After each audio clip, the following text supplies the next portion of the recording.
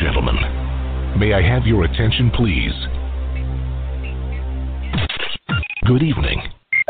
You're listening to Straight Talk with Dean and Mark. We thank you for tuning in and hope you enjoy another exciting episode of our show.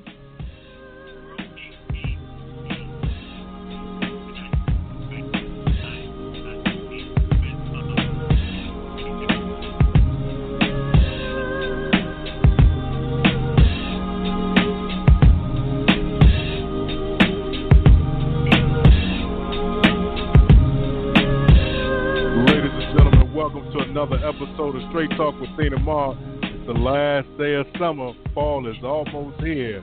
But it's the six man Dean Geronimo, and as always, from NJ to NC, I'm in the studio with my right hand man, Mark Lee. So, Mark, tell me what's good in your neck of the woods, my brother.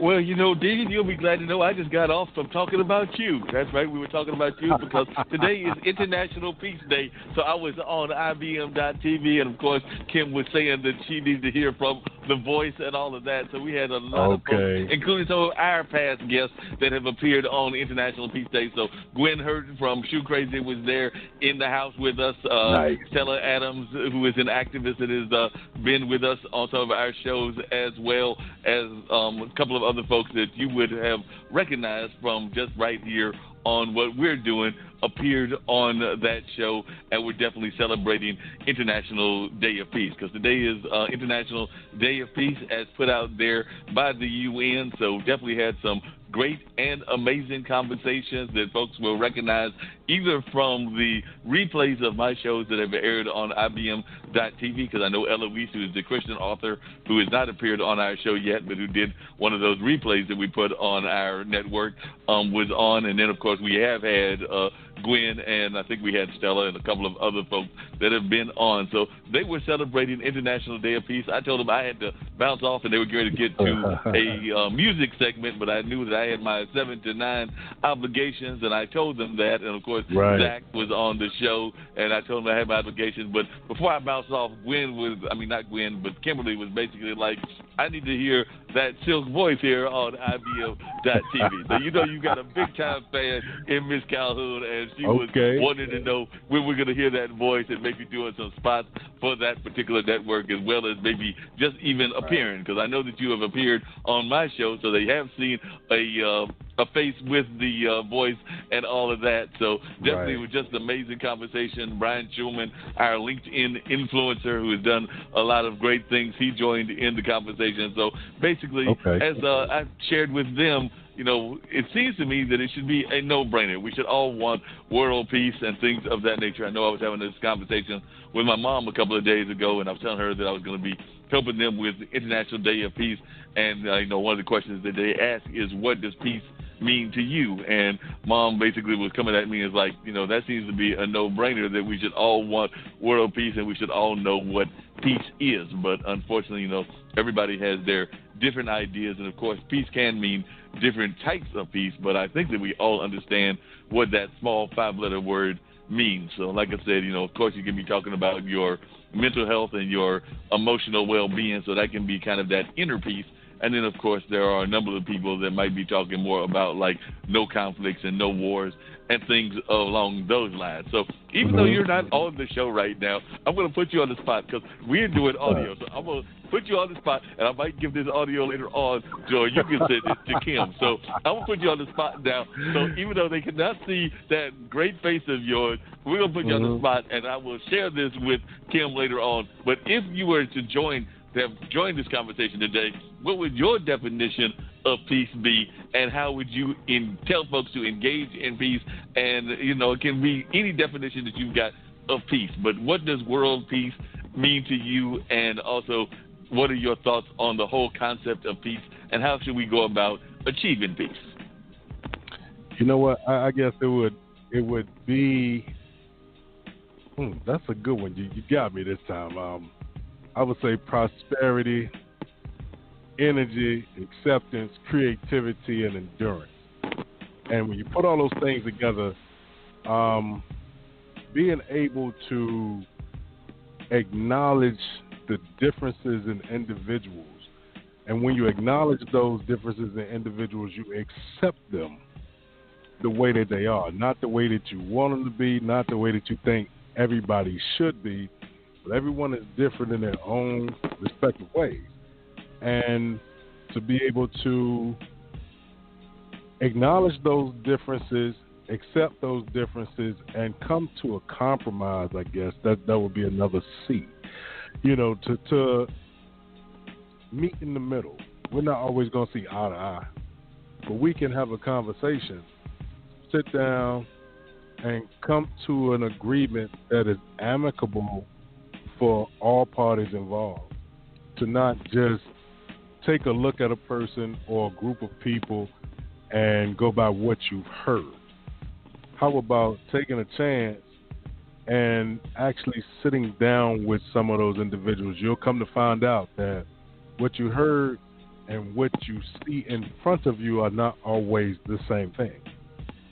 To be able to understand that people get mad, you know, but in time, time heals all wounds, and, and you may need that space to calm down, come out of your feelings, instead of it being a, a contest between who's the uh, most aggressive or who's the most strong-willed or who can overpower who then maybe we can, you know, stop being so self centered to the point that you think that everything you do is right and everything everyone else does is wrong. That even comes down to things such as religion. You know, uh, they have been, um, you know, Christians and Muslims have a problem. Muslims and Jews have a problem. Everybody has a problem with everybody else for what they believe in. But how can I tell you that what you believe is wrong? How can I? How can you tell me that what I believe is wrong? You know, and when we get out of our own way and stop being so um, small-minded, that maybe we can get to a point where we can actually learn each other's cultures, traditions, behaviors mannerisms, and accept all of it for what it is. And once we start to accept each other, we won't have as many problems as we do now. You know, it, it's still a, a carryover. Some people look at us, man, and say, look, you know, I heard black men X, Y, and Z. But you don't do that. How come? Well, you know what? What you heard and what you see are sometimes two different things. I'm not going to get offended because they were brave enough to ask, but at the same time, there were some things that were passed down. You know, so sometimes you got to take what you need and discard the rest instead of carrying a whole bag full of junk with you.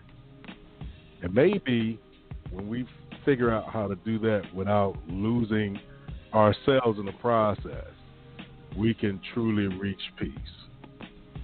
That's my thought. Hey, that's a great idea, and I love the way that you framed that and everything. It's interesting that you brought up the religious aspect because one of the moments that I had on the show was very interesting because I kind of uh, was the lead host for about um, an hour and a half, two hours between the hours of five and seven. They kind of preempted my uh, usual Mullins Music and Memories show. So, by the way, you'll only be getting one tape unless I find a way to get the audio of this extensive show that we did and everything. So, you might only be getting one of them because we did do the uh, radio show with Mark Lee, and I had the pleasure of having a good friend of mine and a fellow board member at the Carolina Theater, Dawn Reno Langley, who is an author that deals a lot with her books, even though they're fiction books, with uh, things around activism. Like one of her books uh, is centered around a school shooting.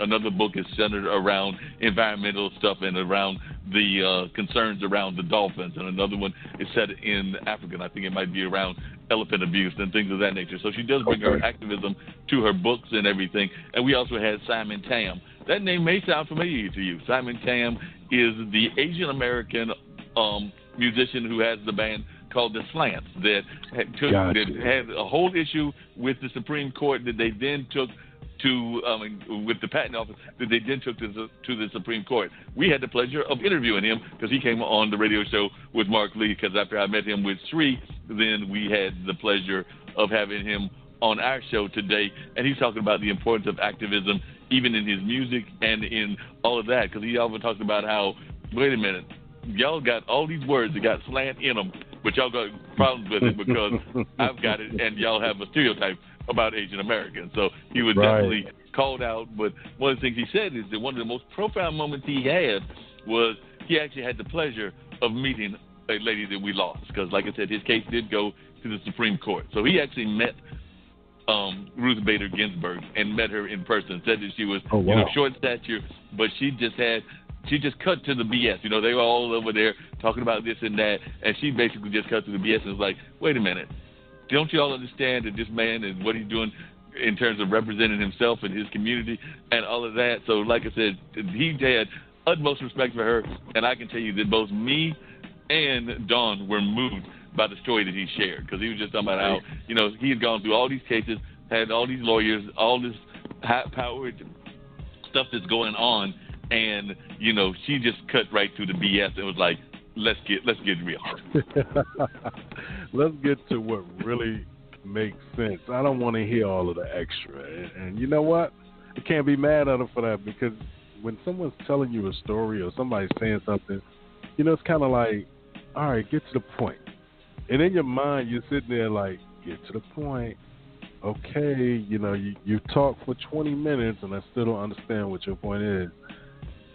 And some people are brave enough to say, all right, look, while I understand all of that, do me a favor and get to the meat and potatoes because I'm tired of you giving me the side.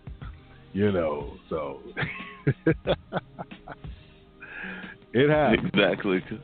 It happens, but you know that was an amazing lady, and I want to say that I trying to remember if I actually saw the movie The Notorious RBG or if I just had friends that saw it and told me about it. But either way, I've heard great things about her legacy. I've heard great things about that particular movie. So definitely, you know, we lost a great leader in the community. I am concerned Right. because, as my mom reminded me and everything, we got to stall if we're going to try to stall and not get like a conservative or reactionary judge all the way probably till the middle of January. Because, like I said, I was thinking that maybe we could just stall till the election and my mom was basically like, "No, Mark. You know, they still are technically in office until they get out of office in the middle of January January." twentieth. So, January twentieth. Right, January nineteenth is the last day of work for them. You know, so let's hurry up and get to the twentieth, man. That's all. uh, I'm with you. Let's just, let's let's move Oh, to the world and make the world a much better place because we know the world has so much better potential than what it is actually having right now. So we do know that that is going on. So we definitely need to have this better world and share what is happening and just Mm-hmm. continue our dialogue and all of that because we just know that things have to be much better than they actually are. So that's one of the things that I would uh, share with folks is that you know we've had this kind of like crazy period, both with the virus that has, you know, leveled a lot of us uh, in terms of our economics and in terms of other things and in terms of the things going on with race relations and mm-hmm. even in terms of all of that. Simon actually brought up an interesting point about race relations because he was talking about how everybody's talking about we will be a majority minority nation but I think he said 2040 or 2042. And while that is true, that kind of like, but one part of that is that that other half is actually very fragmented. So, like I said, if we look at it that mm-hmm. way, then that's going to be a whole other issue. Because yes, let's just say that it is 51% people of color and 49% uh, people of European descent. While the European descent folks might be divided as well, because we know they're Polish, Irish, and Italian, they oftentimes don't treat themselves that way. Whereas we've got all these different ethnicities, and we also got divisions within the ethnicities. Because, like I said, as he put it, within the Asian community, there are, you know, there's Koreans, there are Japanese, there are, um, you know, um, trying to think of some others, Vietnamese. So there, that's just in the Asian community. We can also go to the African community with its various nations and divisions as well. And there's some like some crazy hundreds of nations that are actually recognized in the Native American population. So while it sounds good in theory, that's a whole lot of division just within that people of color caucus. So like I said, we still might happen to be dealing with a fight against the uh, folks that are in control right now, which is the predominantly white male, because even though they might not be in control in the sense of numbers because it's 51 to 49, if that's what the percentages have become, they are still the ones in control of the power centers. That's true. That's true. So maybe that'll start dismantling, and we'll see what happens. Well, the first thing we got to do is we got to get rid of the crazy person. So let's just hope that we can do that during the election. I think I heard a doorbell, and that Yeah, might mean that we got you a did. guest at the door. You did, and, before you before we get to the guest, I did want to give a shout out to my son, man. His 23rd trip around the sun today, so you know, happy birthday. Dean Geronimo loves you, bro. So And you said this is what number for him? 23. 23rd birthday today. Yeah, All so right. you know, he getting up there. You know, they all get up there. Everybody get up there. I do not have the pleasure of having kids, but I was thinking to myself that my nephews were born in 2008, 2009. That means that the last month in August, they turned 11 and 12. That means that they're just around the corner from those notorious teen years. And I'm sitting there going like, I could have just thought a few minutes ago that I remember them as like babies, you know, young people. And now they're over here in this like almost near teen years, and after the teen years comes the early adult years. So I'm like, where did the time fly? Where did this happen? Where did I start getting, you know, older? Because of course we always want to think that we are younger than we actually are. So uh, definitely, I'm sitting there trying to figure out when that happened. And then I was also thinking, like I said, even though I don't have any, my brother turned that uh, great 50 last month. I mean, not, not last month, but last year, last last year in October. So this coming month, coming up, he will turn 51. So he hit the big five zero last October in October of 2019, which means that he'll be turning 51 in October of 2021. And I just recently realized that he shares his birthday with a world famous funk musician because you know I'm always talking to my buddy Zach, and I just realized that my brother Malik, who will turn 51 on October 26th, and Bootsy Collins have the same birthday. So uh, I'll have to tease Malik about that. Did he share the birthday with Bootsy Collins. And um, by the way, yeah. your Ravens did not help me in their defense. Their def- defense was doing good, but I don't know what the heck I was thinking picking up Tom Brady as my quarterback, and I'm about to go down 0-2. Even though your defense is trying to help me, I might have to make some trades. I might have to do some other things because I am hurting in the beginning of my season. But at least it's not like real sports because I really feel sorry for my uh, schoolmate Doc Rivers who had a 3-1 lead and let it evaporate. So that's why he sent it home. But now the team that hmm. sent him at home, Denver, is down 0-2, and I really thought that they were going to pull out that game yesterday. But Anthony Davis had a whole different idea because he hit that game winner and was like maybe 1.5 seconds on the clock, and I'm sitting there going like, "Oops, y'all are going down 0-2." But we do know that Denver likes to come from behind, and they came down from 3-1 twice. But I can tell you this right now: they need to absolutely. This is just my prediction. They need to absolutely not trying to put pressure on y'all, Denver, but they need to absolutely. Did I say absolutely about three times? They need to absolutely win the third game because I can tell you against the Lakers, you're not coming back from three one. You're gonna have a hard enough time coming back from uh two one, but you can forget it if you go down three nothing. Because like I said, y'all done some amazing things, but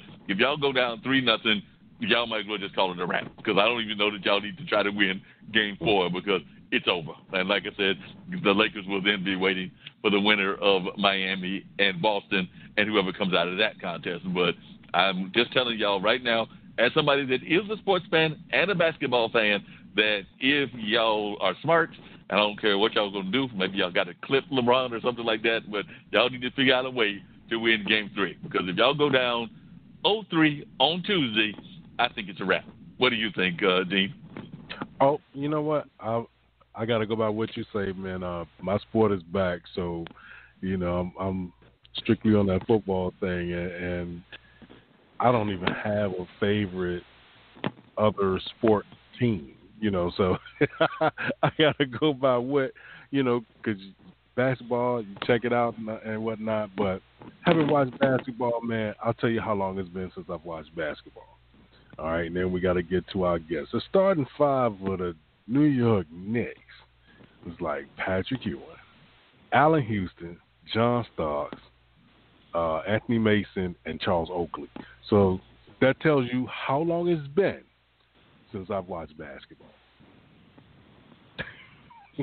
yep, that's been a while. But you know, I gotta tease my friends over at our other uh, organization that we help with and everything, the folks at IBM.TV. I think I found a new sport that you can get into. Since you're not into basketball, I'm going to talk to my buddy Ankit, and he's going to teach us the rules of cricket. So we're going to be, that's going to be our new third or fourth sport. So he's going to okay. teach us the rules of cricket so that we can add cricket to our list of sports because apparently it, along with soccer, is the sport of the world because, you know, it's the sport with folks that got – billions of people are watching it. So I think soccer is the most popular sport, but I have learned that cricket might be second.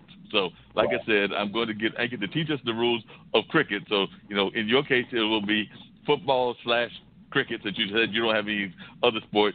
In my case, it might be football, basketball, then cricket. But we're going to learn about the rules of cricket so we can add cricket as one of the sports that we're going to get into because he's going to teach us about the rules of cricket. All I know is I've heard it's a very long game. I've heard that it can go for days. oh wow, that might be too long. oh wow, you know what? Let's see who we got waiting on us, man, and, and they've been waiting for a little bit, so we're gonna bring them in the show. Caller, you are now on the line. Welcome to Straight Talk with Dean and Mark. Tell us who you are, where you calling from. Hello, Mark and Dean. This is Jacqueline Whittenburg, Executive Director and co-founder of the Derek Whittenburg Foundation. How are you guys this evening? All right. I am doing great. And by the way, uh, Dean, if you do not know, um, I remember many people will remember this great legacy of an amazing coach from North Carolina State um, by the name of uh, Valvano and all of that. So, you know, that's part of that legacy that Derek Whittenburg was part of. But then he and his wife have gotten together and have formed this foundation that is dealing with some very important issues that are going on with our youth. So definitely, uh, that's why I wanted Jacqueline to come on to share the story of uh, what Derek was all about. Um, by the way, um, Jacqueline, we've got to convert um, Dean back to basketball. As he was just telling me, he's not a basketball fan. He's strictly into football. So we got to find a way to get him back into the world of basketball, which is, I know, a world that was very important to your husband and all of that, but also important to y'all's career. So if you would just share with us a little bit about um, your connection to um, Derek, how y'all met, and about how the importance of basketball, but then also what the foundation is about. Uh, Derek and I are college sweethearts. Um, we've been married 34 years. Um, wow. And we have traveled all over the country with his career. As you know, uh, Derek was a basketball coach, Division One, for 28 years, and that took us around the United States. And we returned to North Carolina just a little over six years ago as he returned to NC State um, his third time as an employee. He is an associate athletic director there now. And um, he came back as an assistant coach and then went on to become um, a, an associate athletic director. And so it's been a rewarding experience to come back to home, which it's home for me. I'm from Raleigh originally. And um, it, it's been a rewarding experience to come back here, although we returned to a very different uh, uh, Raleigh, uh, North Carolina, from what we left 28 years ago. The growth is is unbelievable here. Um, it's it's been a lot of changes, but um, starting this foundation, this has been something that's been a part on our mind for more than 20 years. But we were traveling around the country with his career and with my career, and we wanted to do this um, back where it started for us. And I was one of the very students that we serve. Um, so I wanted to come back here, and it's our way of giving back um, to North Carolina. And uh, what a way to do it because it's something that's really needed. But we do something quite unique through our foundation. Is we focus on that population of students who are mainly, uh, namely juniors and seniors, that sort of get lost in transa- translation when it comes to finding funding to complete um, their college degree. And unfortunately, oftentimes we have a high dropout rate, and it's usually because of um, money. It's, it's, it's um, the only thing hindering these promising young people who can contribute something back to our society, our economy, our um, public school system. The only thing hindering them is not being able to pay for their their education. And so that's where we come in. We actually work really hard to raise money to fund not loans but grants. We don't want them to pay it back. We just want them to pay it forward. And so we've been doing this um, since 2015, and our goal is to reach every college and university in the North Carolina system, but we had to start someplace. So, of course, we started right here in our own backyard. And to date, since 2015, we've been able to award um, a half a million dollars, actually over a half a million dollars, in need based hardship scholarship funding to help uh, college kids graduate who fall into that category non athlete, uh, junior, or senior. And uh, so far, we have seven schools that we've been working with um, within these five years. And we just added on, actually, it's eight now because we just thought of the Triangle area and awarded scholarships at UNC Wilmington. But we help students at Shaw University, um, St. Augustine's University, NC State, William Peace University, Meredith College, because we believe in the advancement of women. Um, so it, it's it's been a joy to be able to come back and to give something that is totally necessary, and it's becoming uh, as a result of this pandemic. It's even more important now because a lot of these students rely solely on their parents for you know their uh, their education, and you know a lot of people get it twisted. They think that uh, when you go to an institution and you need financial assistance, you first thing you do is you run to your financial aid office. But little do they know, financial aid for many of the students that go there, unless they are classified as you know living on their own, but they don't have a job or anything. Um, it depends on your parents' income. So if your parents don't have a job or if they've lost their job, then you've lost your ability to get um you know, you can't get a low interest rate loan because you have no way, you know, no collateral and nothing to for it to fall back on. So this is something that we knew was desperately needed when we started it and even more so now. And um it's just been a joy to be able to do it. Sounds like y'all are doing some amazing work, and like you said, it's very important in this day and time because of what's going on with the pandemic. Are you finding that a number of the students that you're helping are now coming to you trying to find even help with, like, say, um, the internet and connectivity? Because I do know that that's been one of the issues. Of course, we've had some folks that are now doing strictly. Um, either straight internet learning or they're doing a hybrid where they're going part of the time on campuses and part of the time um, at home and dealing with the internet. And unfortunately, we know that a number of our students, meaning the students in the minority community, don't always have access to those kinds of equipment. So, is this something that the foundation is doing? And if so, how are y'all going about doing that? Well, we're not having running into that problem with the students that we serve who are in the university system because they already, you know, they're they're either juniors or seniors and they're already you know equipped with internet access and uh, so we're not really having that problem. But the problem that we are we are having is mainly centered around finances. The cost of higher education keeps increasing but they can barely make the minimum before it increases and so we're there to help them to that part just so that they can even get a foot in the door to to be able to come to a class or to be whether they take it online or go to it.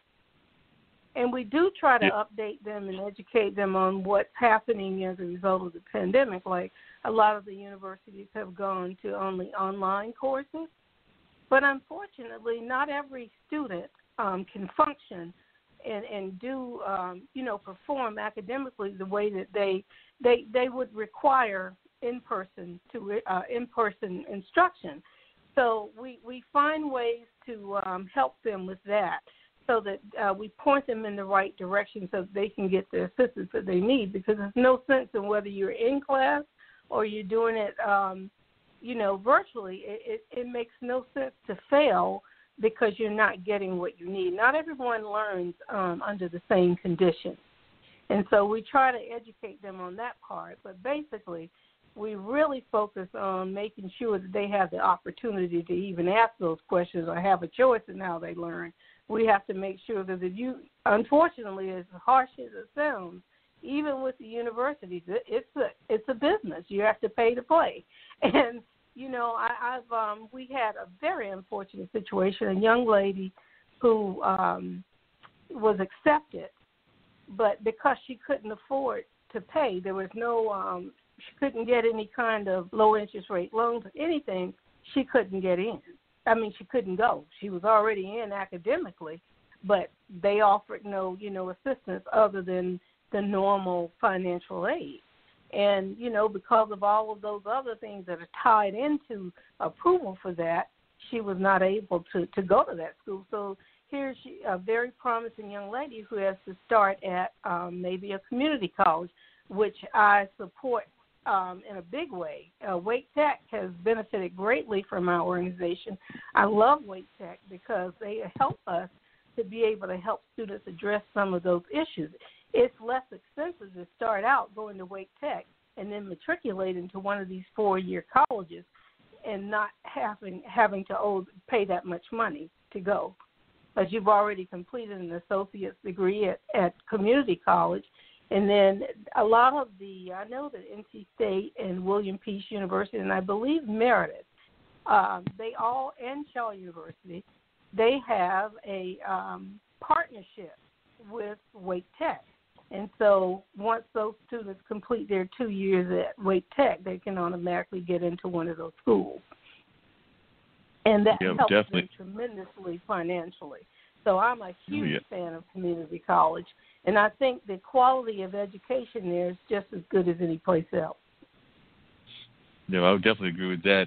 What are some of the things that you think folks are not doing correctly in the educational system, particularly in the higher education system? Because we oftentimes hear folks talking about the uh, downfalls and the pitfalls of higher education, but I do believe that it's definitely something that is a great uh, benefit to society. But I do know that sometimes folks are afraid that we might begin to a point where it might become something that has happened in some of our historical places where it's only for the elite and not enough for the common folks. So it definitely sounds like your foundation is trying to fight against that. But I have heard that being a fear of the new ways of education because of not getting enough support to, for vocational training, not getting enough support of community colleges, and for a number of other reasons. But I was just wondering what your thoughts are about the direction that we're going in terms of education and how accessible is higher ed in the world, and what are some of the ways that we can make it more accessible?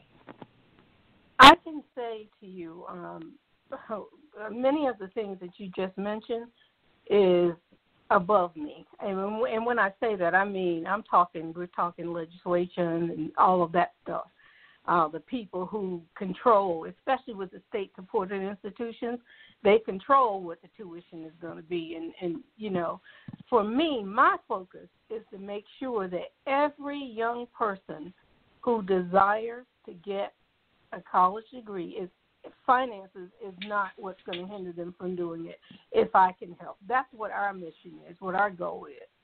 Um, so, as far as, but there are a lot of um, things that are uh, unfair, if you will. It's already designed so that, you know, mainly the elite, those who can, you know, they can get the education with ease if they desire to get it.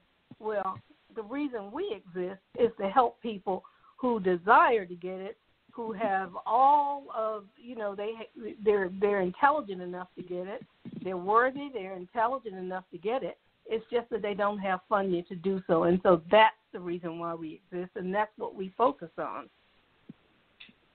Yeah, definitely. And who were some of the folks that inspired both you and Derek? I mean, I'm imagining that one of them, of course, was probably the late great Jim Valvano, but I'm sure there were others as well. But who were some of the folks that inspired y'all to even get involved in this kind of field of education? And it can even be folks that folks may not know, like your parents or grandparents if they were teachers. But definitely, who were some of the folks that are y'all's inspirations when y'all are thinking about doing something like this, a foundation that is definitely doing some very uh, great work and everything. And by the way, I know about foundation work. My mom was actually one of the uh, was actually the first president of the Golden Leaf Foundation and has worked for uh-huh. a number of other foundations, including the Z. Smith Reynolds Foundation. But yeah, Valeria Lee is my mother, so definitely has been involved in foundation work, and I've known about the importance of it for a while. But I was just wondering what brought you into this realm.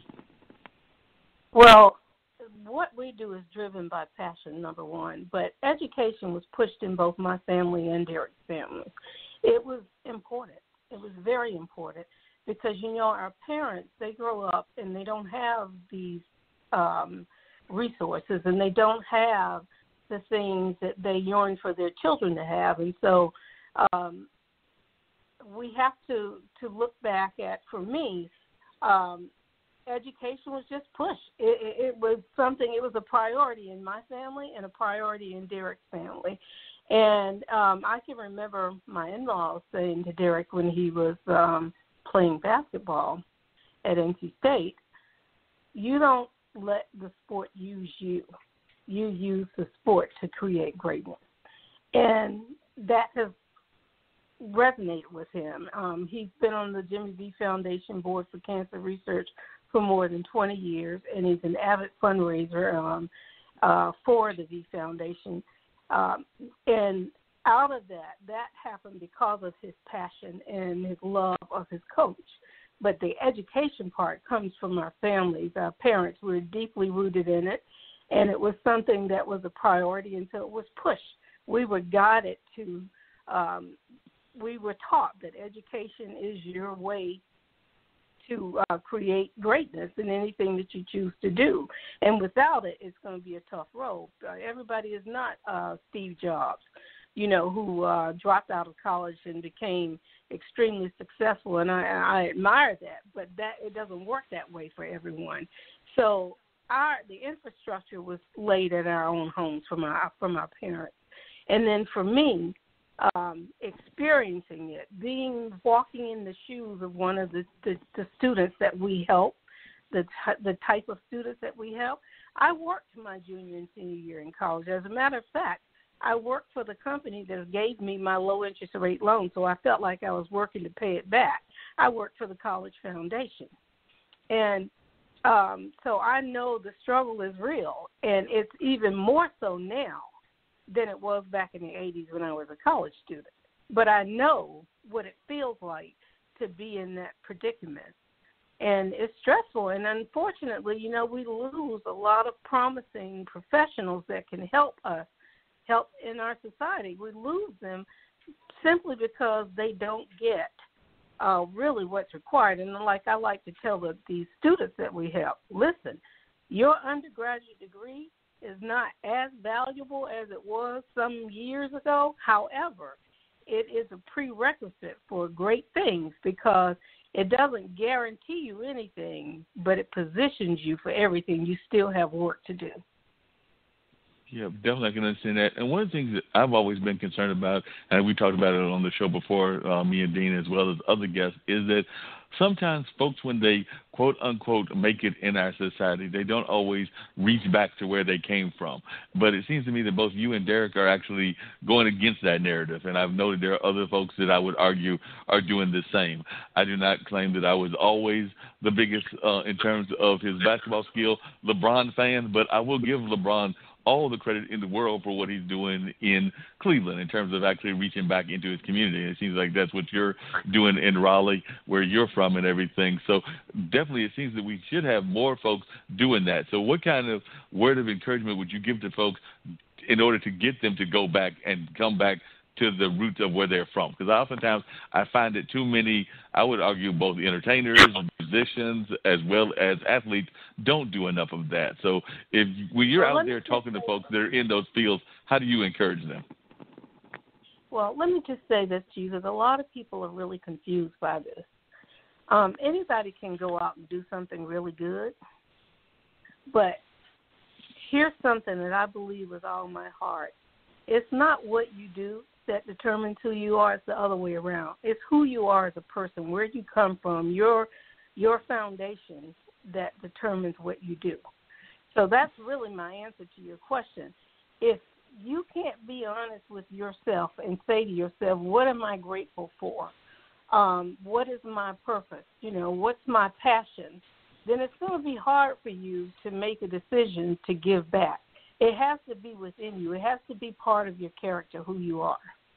It's not just something where you just wake up and say, "I'm going to go uh, give back," because I think that's part of the reason why we have some folks who don't do that. You know, because that's just not who they are. That's not part of their character. Yeah, that makes a lot of sense. That that might not be part of their character, and therefore they can't, uh, don't have the wherewithal to do it, or even the want to do it. So that's a very valid point that you make in that sense and everything. So I definitely agree with you on that. What is your take on how we are doing uh, as a nation in terms of like trying to work in the education system and with education in general, not just higher education, but all forms of education? Because it's my opinion that we've been actually taking steps backwards in terms of education. I actually worked for a testing company for a while, and I do think that for a while we might have got overly caught up in the testing world. But I was just wondering oh. what your thoughts are as to where the United States is and in the education system, and even where we are globally, and where you feel we should be going. Well, everything it's it's those are very good questions, but they're not easy answers to them, and and and I say that because it's complicated because there's so many moving parts to this. And I'll give you an example. Um, a few years ago, I had an opportunity to uh, meet with the president of ETS, the Educational Testing System, which is the the company in in New Jersey that is mm-hmm. responsible for all of the uh, required testing. You know, like the SAT, the uh, proficiency test that the kids have to pass in um, some states, their school required, whatever. And you know, my biggest question was this: if how can you require everybody across the board to take this standardized test and perform on it when you don't provide everyone equally with the same resources to get to that point to where they that where they can pass the test. So I say that because there's so many different moving parts to fixing our educational system. I mean, just I followed while I was living in New York. I followed what was going on here in North Carolina with in, in Wake County with the public school system, and I was devastated because I had a little niece here who was in the public school system, and it was just um, disastrous because you had a school board fighting against um, the system not wanting to make things equal across the board. But the same requirements were applicable to all students, regardless of what region or what district they went to school in. And so I struggle with those things because I think it puts, um, and particularly our community, the the people of color, it puts our children, you know, at a disadvantage. And so there are a lot of different moving parts that go into fixing the educational system.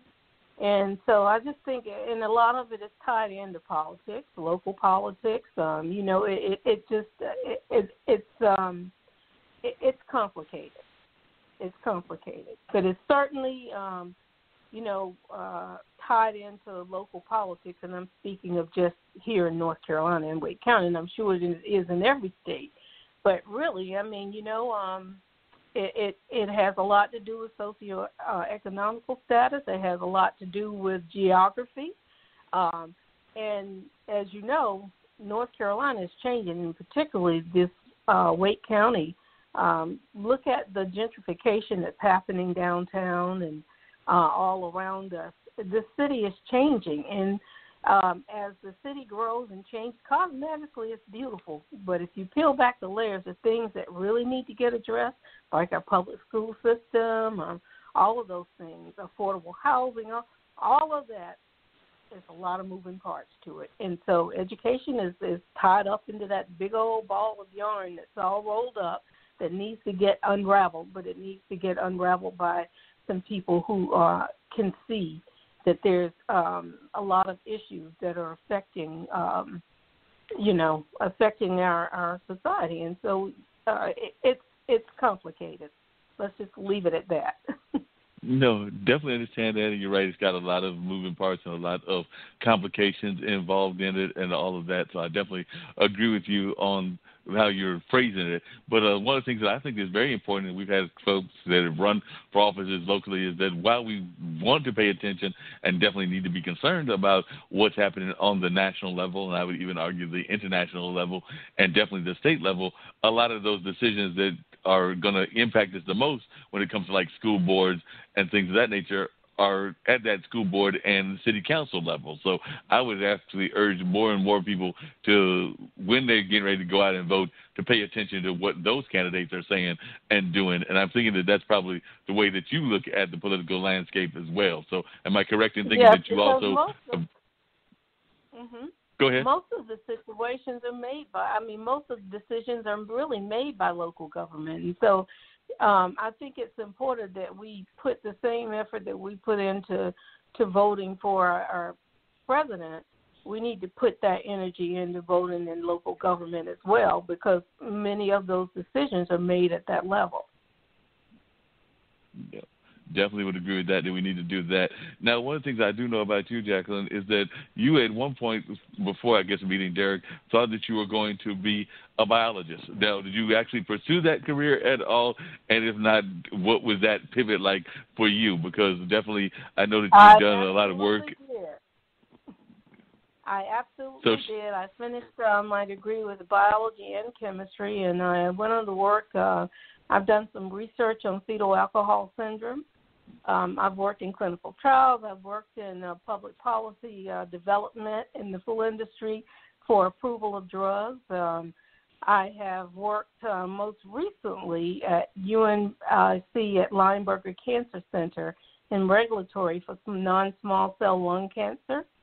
Um, I've also worked at NC State with the College of Veterinary Medicine in the vector-borne diagnostic disease um, functioning. It's a working uh, lab with international cases. So I have um, worked in my field most of my life, and um, it's it's been uh, rewarding to be able to give something back to science, and um, it, it's um, it's been a joy. I encourage um, more. I sit on a lot of STEM panels, and I speak at a lot of in a lot of STEM environments, and I really uh, try to encourage people um, to understand the value uh, and the importance of understanding it, even if it's not going to become your profession, to understand why science is so important.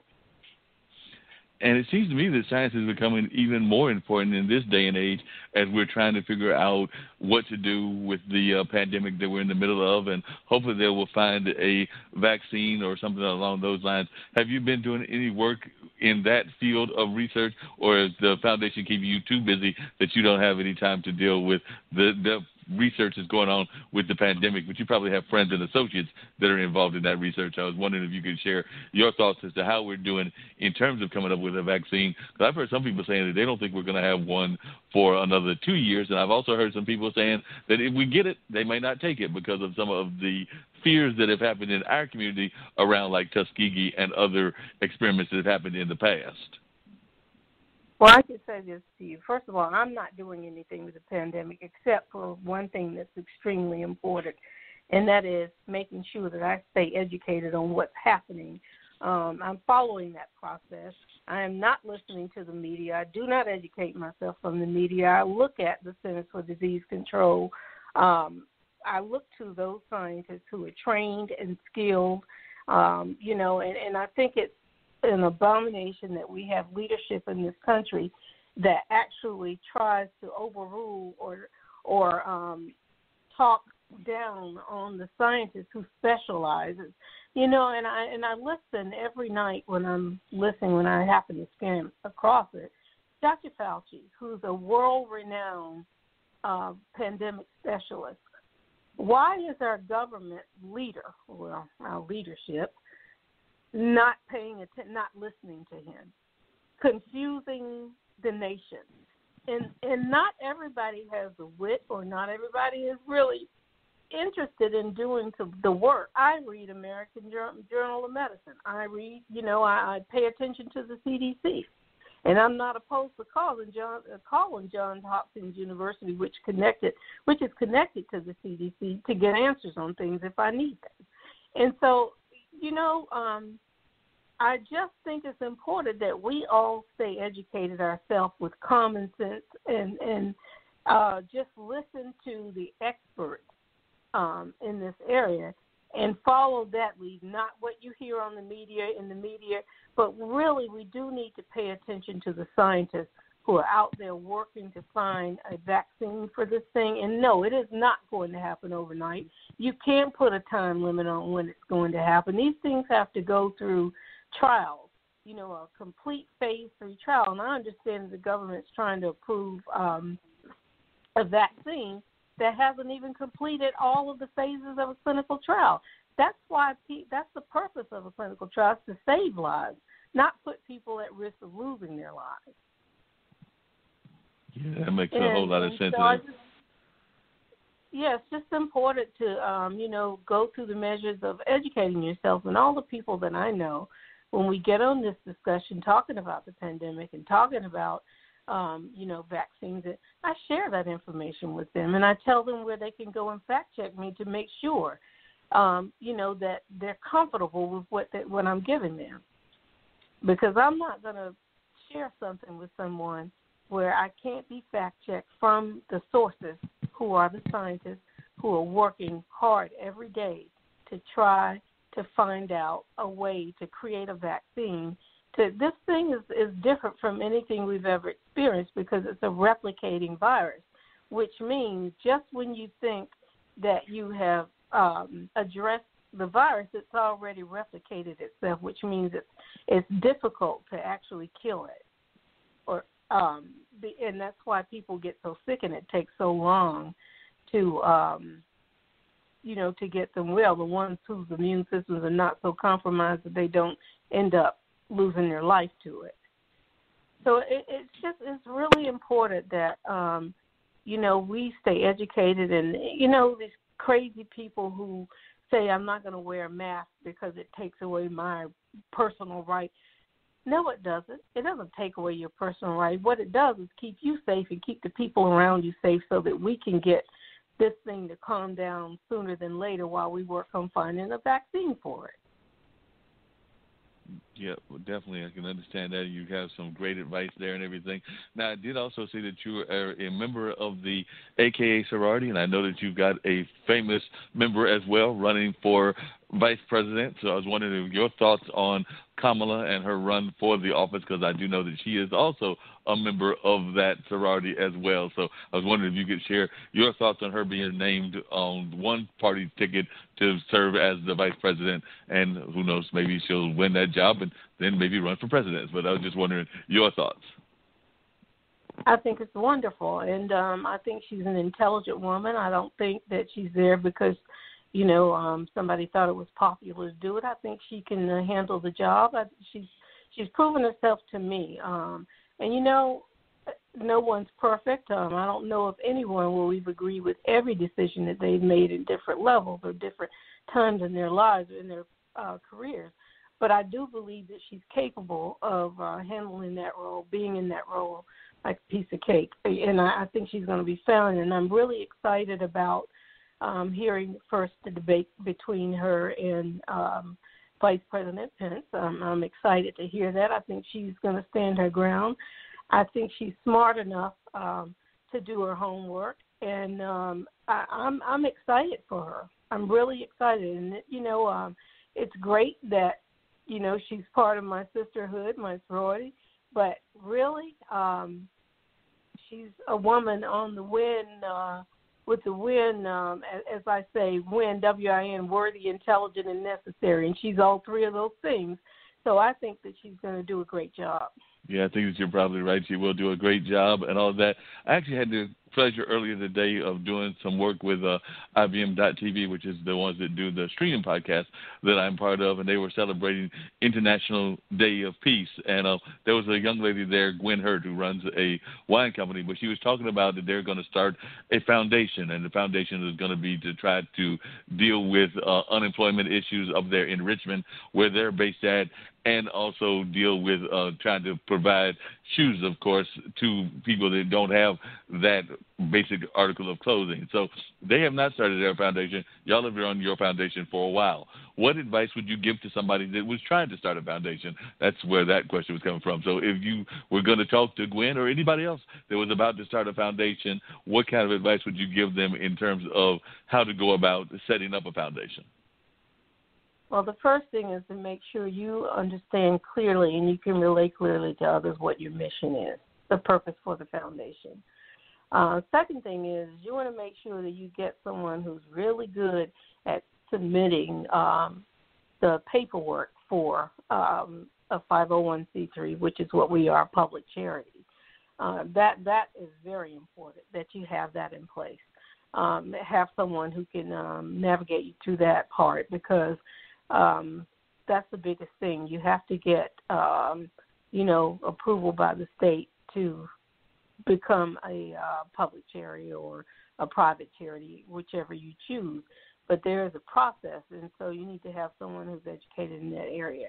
And once you get through that part and you submit it, um, uh, everything that you need to submit for approval to get a tax ID number to become a, a private or public charity, um, once you receive that, then you, the next phase is, of course, you have to get um, submit paperwork to the Secretary of State to become uh, to be able to solicit funds in your state.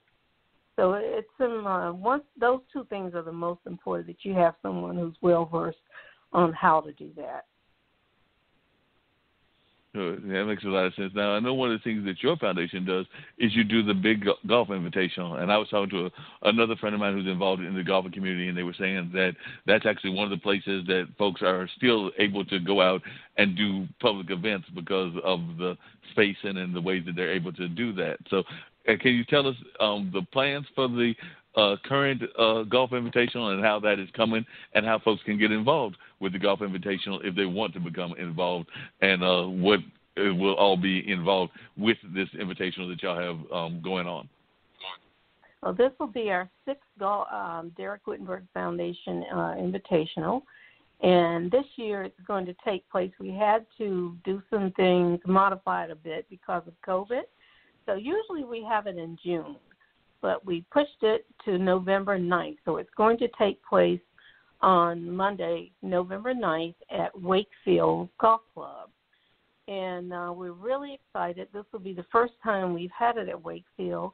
The first three years we did it at Lonnie Poole at NC State, and it was amazing. It was great. And the second, the last two years has been at MacGregor Downs. Well, this year we decided to go to Wakefield, and um, we're really excited, and timing is good because Wakefield is a bigger um, facility, bigger golf course, more spread out, and easy to social distance there. And um, they've hosted several golf tournaments since the pandemic hit, so they're well versed in all of the COVID protection and everything. But normally, ours is a corporate golf tournament, so it's no individual players. We have teams only and normally it's 25, 23 to 25 teams, but because of COVID and uh, making sure that we keep keep everyone safe, we scaled it down to 18 teams. And what we normally have is four players per team, and then we add a celebrity guest to each team, so it ends up being a five-person team. Well, because of the modifications for COVID this year, it's a three-person team, and then we add a celebrity guest to each team, and we're only we scaled it back to 18 teams this year. So we'll have different tee times too, uh, and this will be the first time we've ever had tee times. Normally, everybody tees off at the same time, but because of COVID um, and the social distancing thing, we we're having tee times this year. But um, we usually have a big reception fundraiser the day before the golf tournament, but again because of the pandemic. We've done away with that this year, and we're strictly just having the uh, the golf tournament part of it.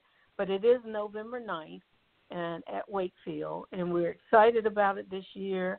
Uh, one of the things that we're offering, because we know a lot of small businesses and um, nonprofits are hurting, and so this year, for the first time, we decided to open extend an invitation to any small business or nonprofit that would like to uh, contribute um, anything with their brand on it to go into our swag bag so that people will our our connections will know about their businesses.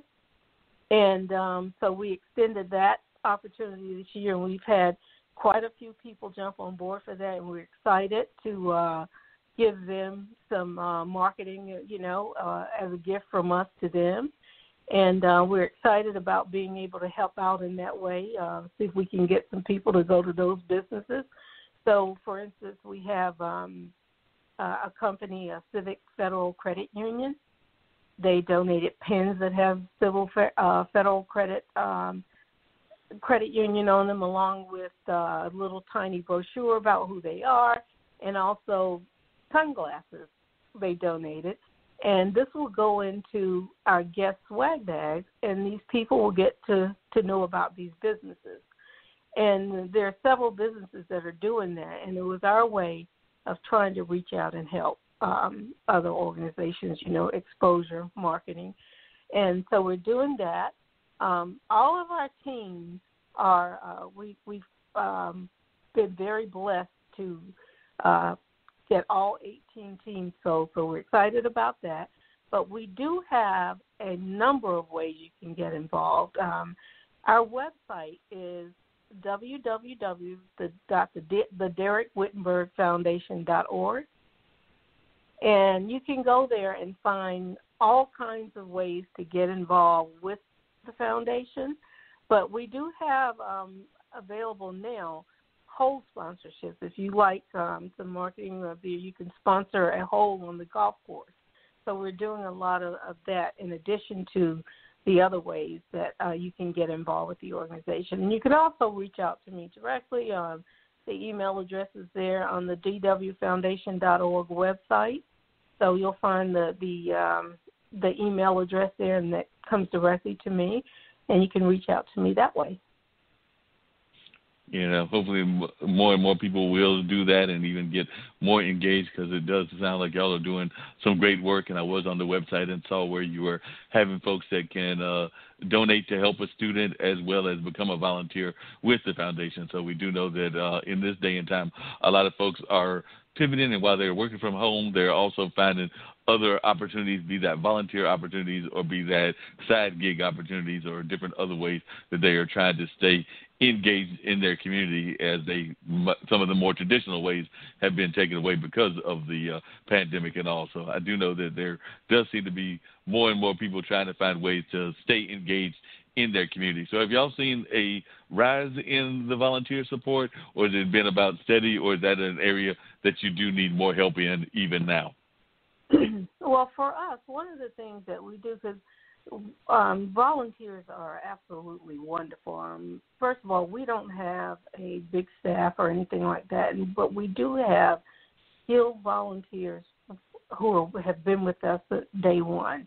And so um, it's very strategic in how we organize volunteers because I don't think the person who volunteers benefits very much from it if there's nothing for them to get to if there's nothing for them to do as a volunteer. So I make sure that when we open that opportunity up for volunteers, that we have specific areas that we um, need their you know need uh, their skill set in, and um, so we look at we have a number of events throughout the year. This year, of course, has been less because of uh, the pandemic, but um, volunteers are great, and we're always looking for volunteers to, in specific areas, and um, so we make that known, you know, uh, based on the events that we have. And so it gives people an opportunity to use their professional skills in a nonprofit setting. Yeah, that makes a lot of sense, and they can hopefully use those skills and develop those skills for other opportunities for themselves later on in life. I love y'all's mantra, by the way, and I'm sure that uh, Dean, who's listening in as well, will probably be able to relate because he works in the corrections field. But y'all's mantra is dream, believe, work, now finish. So it seems like a very simple mantra, but it's also a very powerful mantra. So tell us a little bit about how y'all even came up with that mantra and everything, because like I said, it seems very simple, but something that everybody should do on a regular basis. But it's very framed in a nice context. So I'd love to hear your thoughts on how you came up with that mantra and what that mantra means to y'all. It means exactly what it says. You have to dream big, work hard, and finish whatever you start. That makes and, a lot of sense. That's what it's all. That's what Go it's ahead. all about. And that's that's the message that we wanted to send to those who benefit from our work. And, and that's yeah, you that know makes... um, we try to encourage our students. Um, that's what our mantra means. We need you to keep dreaming big, but you have to work hard because dreams don't come true unless you work for them. And then whatever you start, you have to finish it. Yeah, definitely. You definitely have to do that on a regular basis, and you definitely have to continue dreaming big and everything. I was just wondering because I'm sure that y'all have had the conversations in your own house and everything, but we did. We were talking about the activism in the athletic community. But one of the things I've been very much proud of is the way that uh, the NBA has come out with statements around racial justice and things of that nature, and it's definitely been led by the players. So I was just wondering what your thoughts were on that, and if uh, Derek has shared with you what his thoughts are, because it definitely seems to me that the players took the lead in doing a lot of that and making those statements know that they are also going through these. I know I was watching the arena yesterday. Um, I think it was like one of the rerun episodes, but Isiah Thomas was on there, and he was talking about how he even had an experience when he was growing up of, of having a tank turned to him because I think he was growing up during one of those riots that was going on in his area where he grew up and everything. So he remembers having like a military tank turned on him, and he also remembers having some other encounters with law enforcement. So he definitely was able to relate to what the athletes were doing. And I'm thinking that probably you and Derek have even had cases of that happening in your own lives. So I just wondered what your thoughts were about the ways that the athletes are standing up, particularly in the NBA, but also the NFL and a number of the other leagues? Uh, I think it's wonderful what they're doing. I can't speak for Derek, but because I know his heart and I know that he um, is very tuned in to social injustices, and um, I know that he feels strongly about something needs to be done. And if we don't stand up and take a stance and and really try to educate the opposers oh, you know, because you know we found ourselves in this com we find ourselves in this conversation all the time. Um, you know, the first thing that I hear come out of an opposer's mouth is that when when athletes don't uh, stand for the national anthem when they choose to kneel, is they start talking about uh, disrespecting the flag. It isn't about the flag, and so it's very important that we stay on on the, the of educating people that those opposers that do we do encounter is that this has nothing to do with um, disrespecting the American flag. It has everything to do with what the flag stands for, which means justice and equality for all. And I don't understand why it is that they can't see that there's an imbalance in in, in uh, there's definitely not equal justice here. And you know, it's not just what you see in the, the uh, in the news or you or these uh, uh, cases with like George Floyd and Trayvon Martin. All they have to do is look at the statistics and be willing to accept that it is what it is. Then they would have a completely different outlook on what's happening when these athletes choose to kneel and as opposed to stand. It has nothing to do with the flag it's it's far deeper than that. And so yep, yes, we do have those discussions. We have them in our house, um, but we also have we have nieces and nephews, and so we talk about those things. But we also like to talk to our friends that don't look like us, who don't see through our lens, who can't walk in our shoes because they're not us, and we can't walk in their shoes because we're not them. But we have to. Education is key is key. And then getting people to embrace it. You know, cause, uh, you know, I think here's what I, I do believe though. I believe some of these very people who are um, raising Cain about um, us standing up, people standing up um, for injustices and bringing it to the forefront, they know that it's a problem that needs to be addressed they're just not willing to embrace it for a number of reasons. You know, uh, money, power, greed, control, um, for a number of reasons. And I think it's great that um, I, I say we need to keep, you know, we need to keep pushing. We need to keep fighting. And, um, yeah, we know, definitely. as, as the late John Lewis said, get into good trouble. get into good trouble. We need to continue that. Yeah, you're right about that. We definitely have to follow in what John Lewis was talking about when he was talking about that good trouble and all of that. Now, both through your work as well as uh, traveling around the country and everything through your husband's work and what y'all have done now coming back to Raleigh, um, a lot of these issues are national issues, but I would even argue global issues. Because, like I said, I'm here in North Carolina. Dean is in New Jersey, but we oftentimes, both on this show as well as just in our regular conversations, we'll talk about how a lot of these issues are issues that are happening throughout the uh, state. They might be both in California, they might be in North Carolina, and then sometimes even different groups. So, like I said, maybe it's happening with not just our African American community, but our Latin brothers in uh, California and in Texas. So, I was just wondering if you could talk about how that travel and that um, experience of going around the world has helped even frame your own education and your own thoughts about dealing with these issues because you've had the pleasure of traveling around not just the country but around the world. So I just wondered if you could talk about how that's been important to you and how it's helped frame the person that Jacqueline Whittenburg is. Well, I have to tell you, it's been very different from me um, because I've lived a lot of places. But uh, I'll give you an example um, h- how different it is. I lived. Uh, we were on the west coast, in the Midwest for a while. We were California, and then we went to um, to uh, Boulder, Colorado.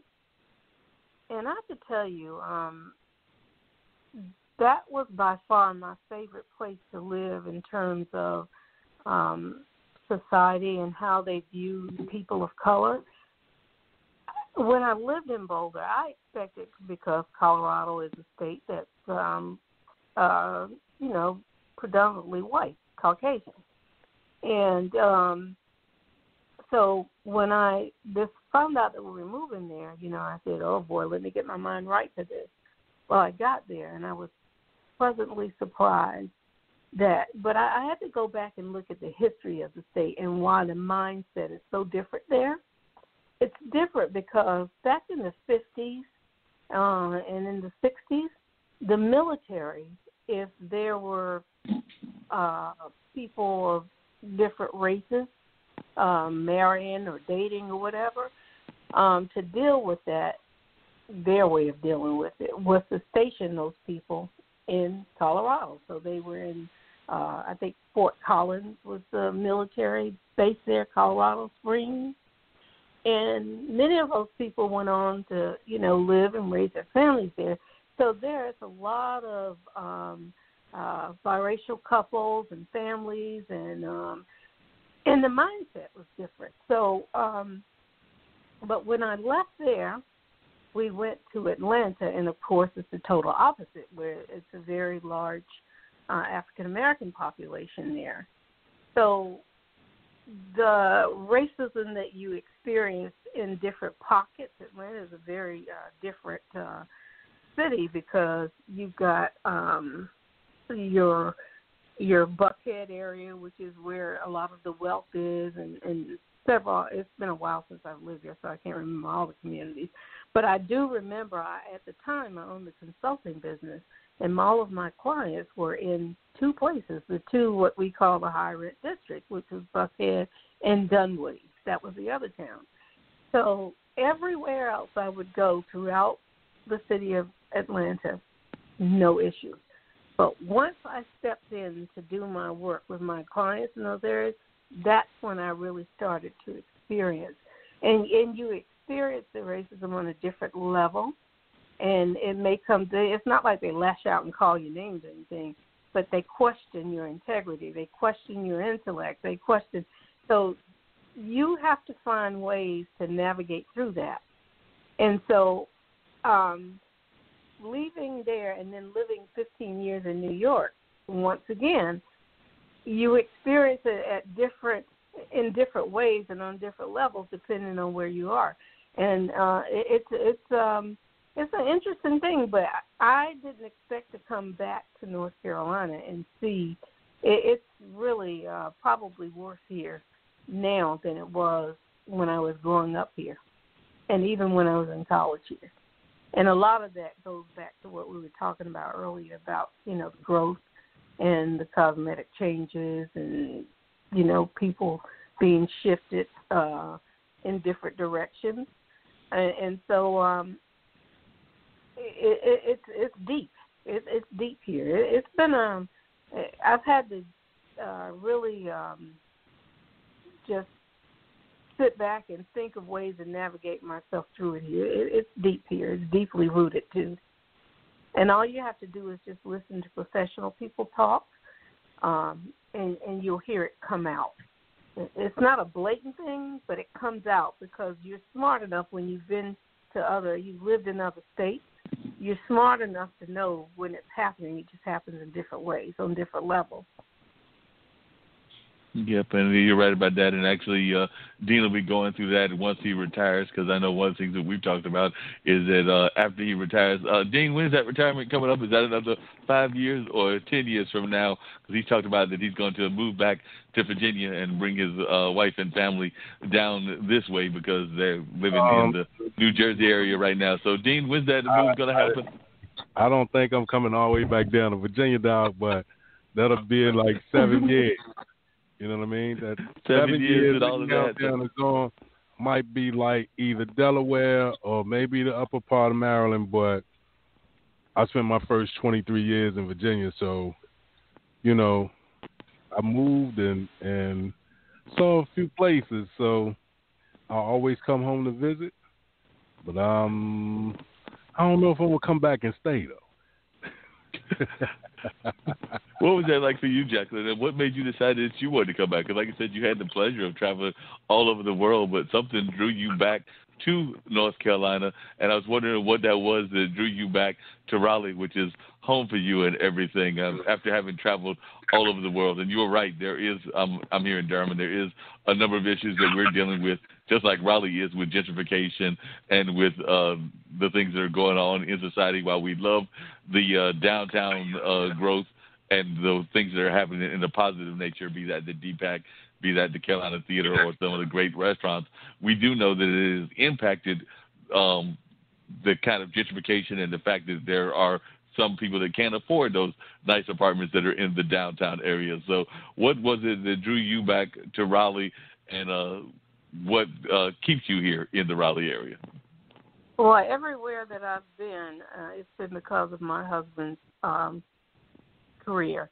And so we're back here again simply for that reason. So for me, I've had to, um, if you will, I call myself the Houdini wife because I'm basically for 34 years I've been traveling around the country and having to uh, adjust to different environments.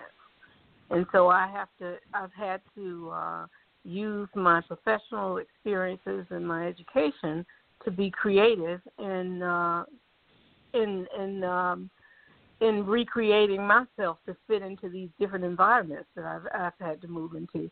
So I call myself the Houdini wife for that reason, because all of my traveling has been I've been uh, supporting uh, my husband in his career, and um, but it's been good for me because I've got I've accomplished some things I didn't think that I ever would um, in my wildest dreams by moving around like this and having to readjust to all of these different environments, uh, learning how to deal with you know different people from different walks of life, and so it's been a learning experience, but it's been good. It's, it's been really good, and it really actually helps me deal with some of the complexities that I've experienced since returning home, because home is very different to me. I have not been here in 28 years.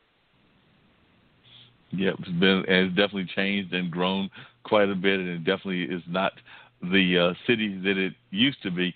But uh, Dean probably can relate to you in terms of having that uh, relationship with your spouse that also is how y'all work together and do that because uh, Dean and his wife have been together for a number of years, and once again I'll let him speak on that. But they are also in my mind. I don't I don't have that pleasure of having either kids or a significant other in the sense of a wife. But I, when watching them and watching some of my other friends that are in those kind of relationships is always great when you see these folks that are. Um, powerful together, powerful as a couple. So I don't want to speak for Dean. I'll let him talk about his wife and everything. But definitely, I have a great deal of respect for both him and his wife and the work that they've done. So, and it sounds like you and Derek are doing the same. So, uh, Dean, jump in, share the story of you and your wife and what she's doing, so that uh, Jacqueline can hear about that from your perspective. I mean, she's put up with me for 19 years and counting, so it's it, I am not the easiest person to get along with. And that was one of the things that when we first started dating, I had said to her, and her response was, "Okay." So you know, once you get a response like that, where most people try to get you to explain how you're not, how you're difficult, or what you what do you do that could be considered that she didn't ask none of that stuff. She was just like, okay, and we've been together ever since. So, you know, she supports me in the things that I do, and in return, I do the same. And to have um, someone who you can bounce ideas off of and and express how you really feel. Sometimes you can't tell everybody how you really feel. But to have That's the truth. you know, to have someone like that is, is indeed a blessing. So, you know. And to be It- able to trust. Right. I can tell I can tell her something and I know it stays right there. I won't hear it again, won't hear from somebody else, won't get questioned on why I said something, won't get questioned on why I feel a certain way. It is what it is. We'll talk about it and then we move on, you know. yeah. Well, that is certainly Yeah. the way it's supposed to be. It's a healthy relationship. Mhm. And that's what it sounds like you have with uh, Derek Jackson. It sounds like y'all have a very healthy relationship and a relationship of mutual respect. So it seems like y'all have got that and are also taking care of that poodle of y'all's, Smokey, and everything. So it definitely sounds like y'all have a mutual respect while trying to do the pet raising that you're doing in addition to raising the uh, foundation. Because, by the way, as far as I'm concerned, foundations, organizations can also be like extra kids. Because I know that one of the things that I talk about is that my parents had both me and my younger brother, but they also had a radio station that they started when I was a preteen, and Malik, my younger brother, was actually even younger than that. So I don't know what he thinks about it because he was much younger, but as far as I'm concerned, that was like the third kid. So it sounds to me like y'all have the foundation and the poodle as y'all's kids and everything. So if you could just talk a little bit about how you balance the work life uh, kind of relationship because it does seem like y'all have done a good job of balancing both being work partners but also life partners, and sometimes that can be difficult. So how have y'all managed to balance that?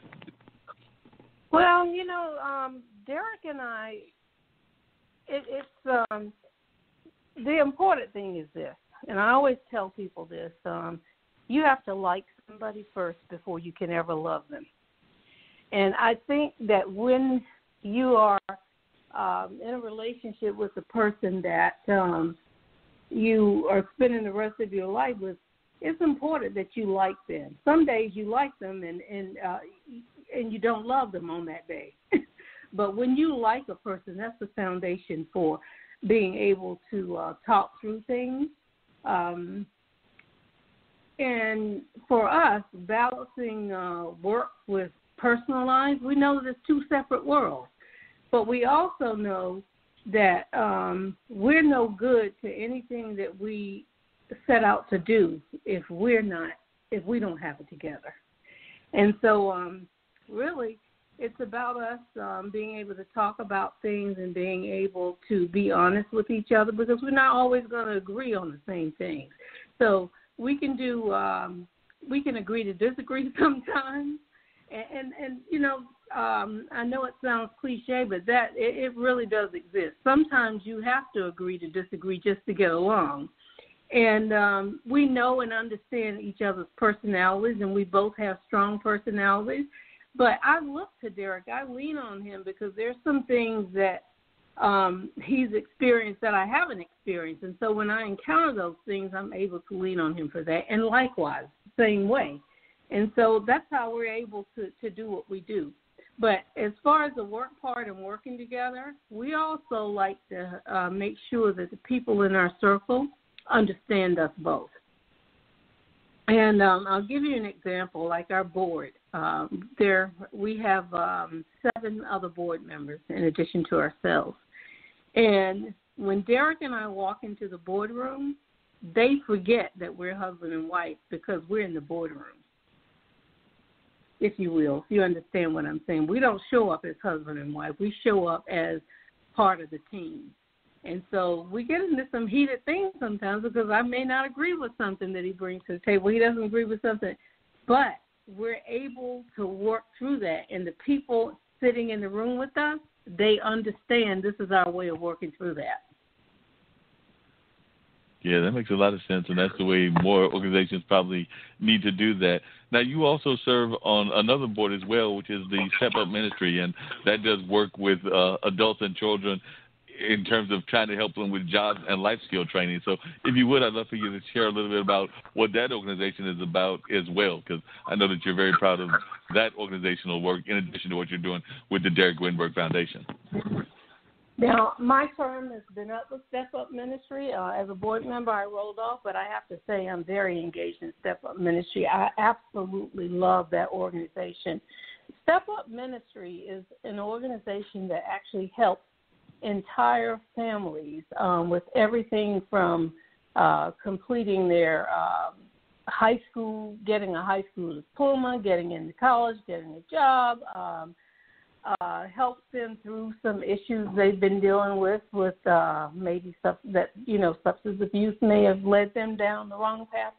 And it's one of the few organizations that actually focuses on um, recidivism, and I love that. And uh, Step Up, I have seen some amazing things happen there. Some people who, and the thing I love about Step Up is not a handout. Step Up, you really have to work um, to be successful. It's a 12 step uh, program. It's, it's an entire year, and they assign each participant um, a mentor, and that mentor is somebody from the community, professional, who gives of their time and their expertise to work with these individuals to show them that you know you can have a better quality of life um, if you choose so, but you're going to have to work for it. And, and, and uh, Step Up provides that and they um, you know step up also focuses on they get to the root of the problem because it's not just the adult sometimes that walks through the doors that has the issue. They have a family, and because they have issues, it's triggered down to their children and to their grandchildren or whoever's living, you know, under the roof with them or in the same environment. Well, Step Up has programs that teach a family how to be a family, and and how to deal with some of those issues. You know, uh, if there's a woman who's a single parent, she's been unemployed for years, or she, you know, she's had issues with substance abuse. If she's willing to go through the rigorous program that Step Up has, she, I have seen incredible things happen there. Um, they have a graduation for these people who go through these programs. They go on to get. Uh, I remember there was a story. Um, every year I go to the big luncheon that they have. It's their impact luncheon, and Step Up raises like one hundred and ninety thousand dollars in one hour at this impact luncheon because it is the participants who've gone through the program that actually guide the the, the um, you know, guide the whole luncheon, and they stand up and when they tell their stories about where they came from, and um, where they are now as a result of going through uh, Step Up programs, it will just blow you out of your seat. It, it, it's a very emotional ride to see, and that's when you start to realize all people have to do is have someone to care and to teach them, to guide them in the right way, to let them understand that you can have a better quality of life. You don't have to be a product of your environment None of that. You can defeat all of that if you're willing to do the work and provide that kind of assistance. And and it Step Up is so good that the people who go through the program they come to Step Up. Step Up doesn't go out and recruit people to come there to receive their services. People come to that organization because it works. It's effective. They have a track record, and I love Step Up, and the um, executive director there is a dear friend of mine, and she's been there over 20 something years, and she's done an, an amazing job.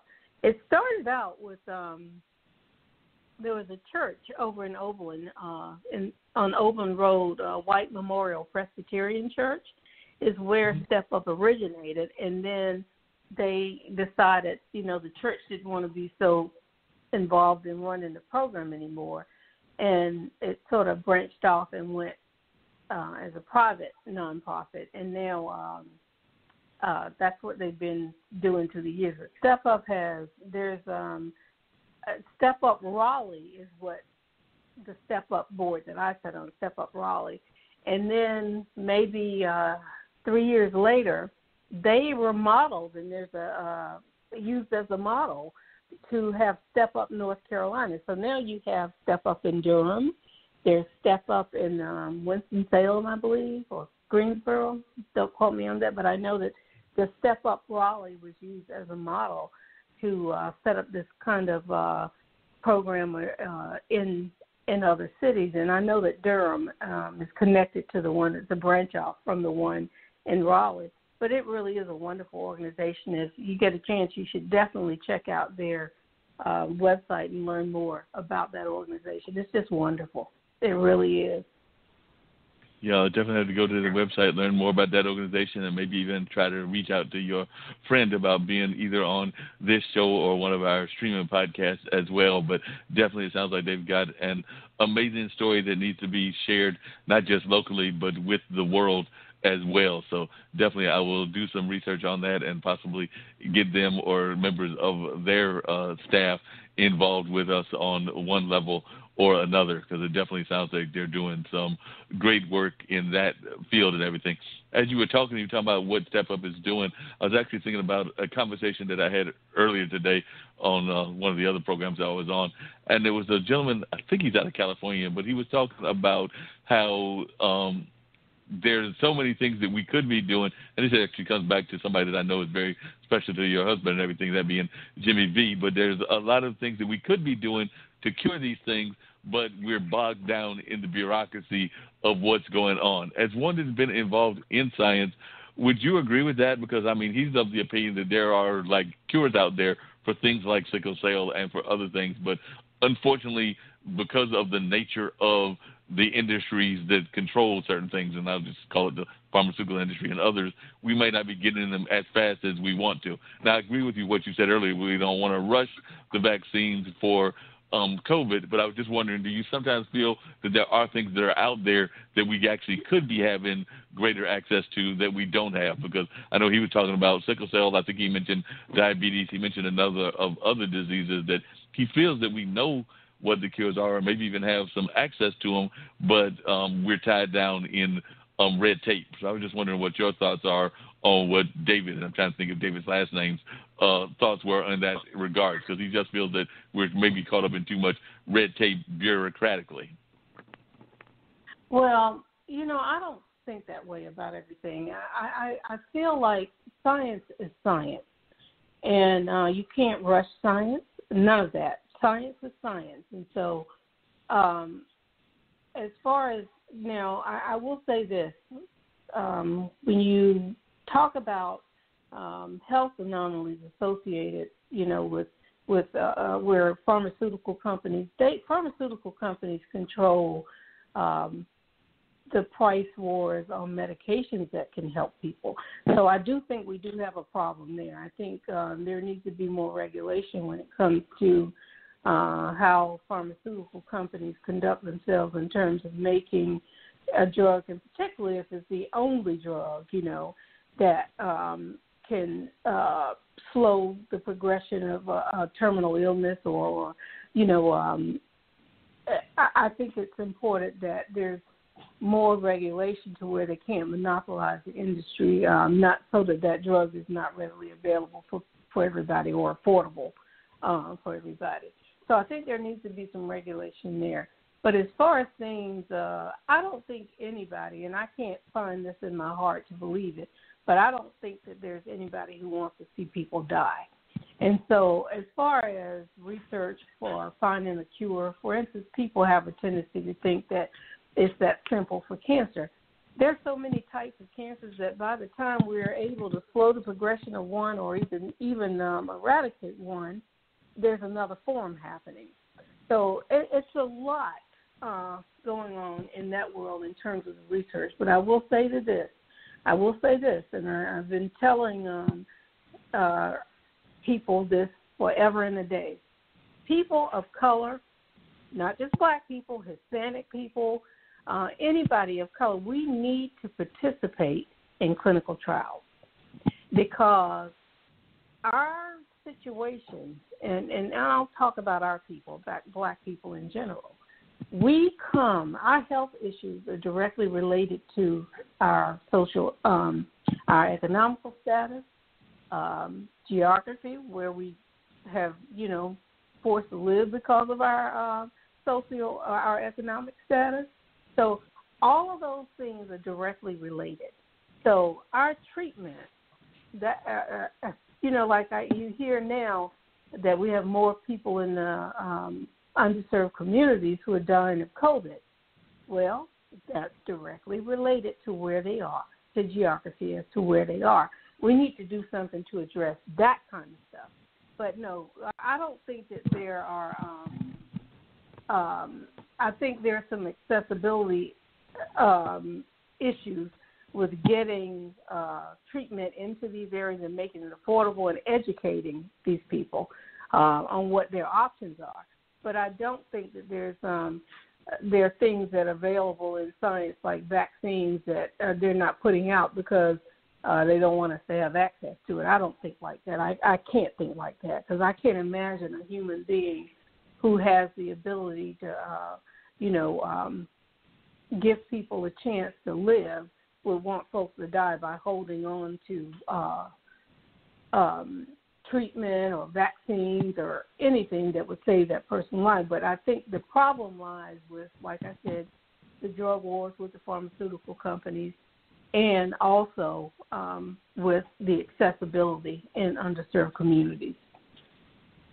And it also seems like we need to address issues even within our own community. Because I had the pleasure of interviewing a couple of weeks ago a lady from UCLA who was involved in colon cancer research, and that's one of the things that she was saying was that we are actually very much hit by um, that in our community, meaning both colon cancer, prostate cancer with uh, I think the colon is with both men and women, prostate, of course, being with the man, and then definitely um, being hit hard by breast cancer among the uh, women in the African American and other minority communities. So it does seem like we do need to go ahead and take those tests, which sometimes we're afraid to do because a lot of us don't like to go to the doctors. Let's just be honest. A lot of us are afraid of going to the doctors for whatever reason. There might be a lot of baseless fears and things of that nature, but it does seem like that's something we should do on a regular basis. And I'm imagining that that's probably something that you encourage even your own husband as well as y'all's peers to do on a regular basis is to go for these tests that are hitting our community on a steady basis, not just the COVID test, but also those, like I mentioned, colon cancer, because I know a lot of that came up after uh, Chadwick passed away, the actor, that it became uh, something that came more into the light. But I was wondering your thoughts on that. Is that something that we need to do more of? Is not just the clinical trials, but also just our basic medical needs that we need. It, it goes back to that thing where I talking about education. It's all in that. We, you, I'll give you another example, and I keep using myself as an example here. The research that I did on fetal alcohol syndrome. After that research was completed, and all of my presentations were done, the thesis and all that work, I felt like I needed to take that information into underserved communities. So I started going out. I used to sit on a board called United Activities Unlimited in New York, and um, it was that organization when the public school system decided to do away with all of the after school programs um, that organization came into play and got contracts with the city schools to continue uh, supporting those after school programs. So, one of the things that I found with all of the districts that we were working with, and a lot of them were in underserved communities, was a lack of education about the environment and what affects them and their health. And so I took the findings from my research into these schools, and I would host roundtable discussions talking about um, the decisions that you make um, when you are under uh, the influence of alcohol or any other substance. And um, I talked about how it leads to birth defects and how it leads to fetal alcohol syndrome. And but the the underlying issue is that the most important part of that was to educate them on why it is that you have to take care of yourself. And we got into the, of course, um, because of the age of the young people I'm talking to, we talked about promiscuity and um, how that leads to, uh, you know, drinking leads to promiscuity, which means you make a decision to uh, be engaged in sexual activity, and then you end up uh, with the possibility of giving birth of pregnancy and giving birth to a child who's affected by your bad decisions and, and also by the uh, alcohol consumption, you end up with this child that have birth defects, which and anomalies associated with the consumption of alcohol during pregnancy. So I took that research and turned it into layman terms in the community where the education needed to be brought. But sometimes you have to speak on there. You have to to speak to where they can understand. I didn't come in and put up a bunch of statistics and all of this stuff. I came in and sat down and listened to some of their issues. And at this time, um, you know, teenage pregnancies is on the rise in these communities. And so I felt it was important to sit down and, and talk to them about this. And then from that, you know, we, we had to go into prenatal care, the importance of that, because, you know, once you, you would hope that a 15 or 16 year old doesn't even have to think about that. But because we're in that environment and these are the things that are happening, this is what I'm hearing from them, I had to use that research to talk about some of those things. Oh wow, yeah, that's definitely uh, something that folks need to be thinking about on a regular basis. And a lot of times, folks don't even want to make that connection between alcohol and the pregnancy. But that is something that is very big in our society, and I know that that has even led to some folks being uh, coming into the earth with different kinds of ailments and things because of the fact of what was going on in that early stages of the pregnancy. So glad that you were doing that kind of work and finding that kind of research that is definitely needed in our society on a regular basis. But a lot of times folks want to ignore these very basic things that should be researched on a regular basis. I know that sometimes even folks don't want to think about the impact that um, different kinds of drugs may have on folks when they're coming into the world as well. And we do know that there are folks that are engaged in different aspects of the drug culture as well as well. But sometimes folks just kind of want to block that out. But that's not the kind of research that you were doing at that time. So it's great that you're still were doing that work then and are still staying engaged, even though you may not be doing the research directly, you're still doing your own personal research and staying engaged in that way. So, how much of um, have you totally given up the uh, research side of things, or are you still doing research outside of the foundation, or do you still uh, reach back and do some research every once in a while from your own background, or have you now stepped back into the retirement realm of the research world? Well, I, like to stay abreast of what's happening, and if the opportunity, uh, you don't just go do research. There's a lot of different um, things that happen with that, and so if the opportunity presents itself and it's it's uh, the right uh, situation for me, yes, I would love to do that again.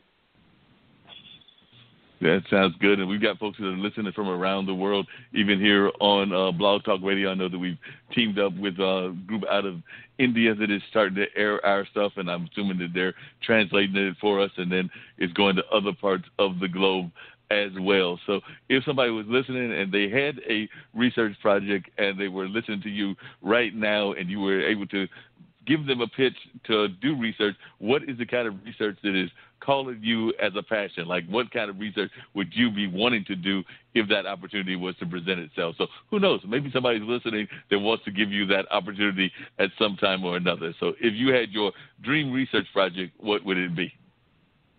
Was to con- uh, continue studying um, different uh, types of cancers and finding out, um, you know, what uh, ways we can actually slow the progression of some of them.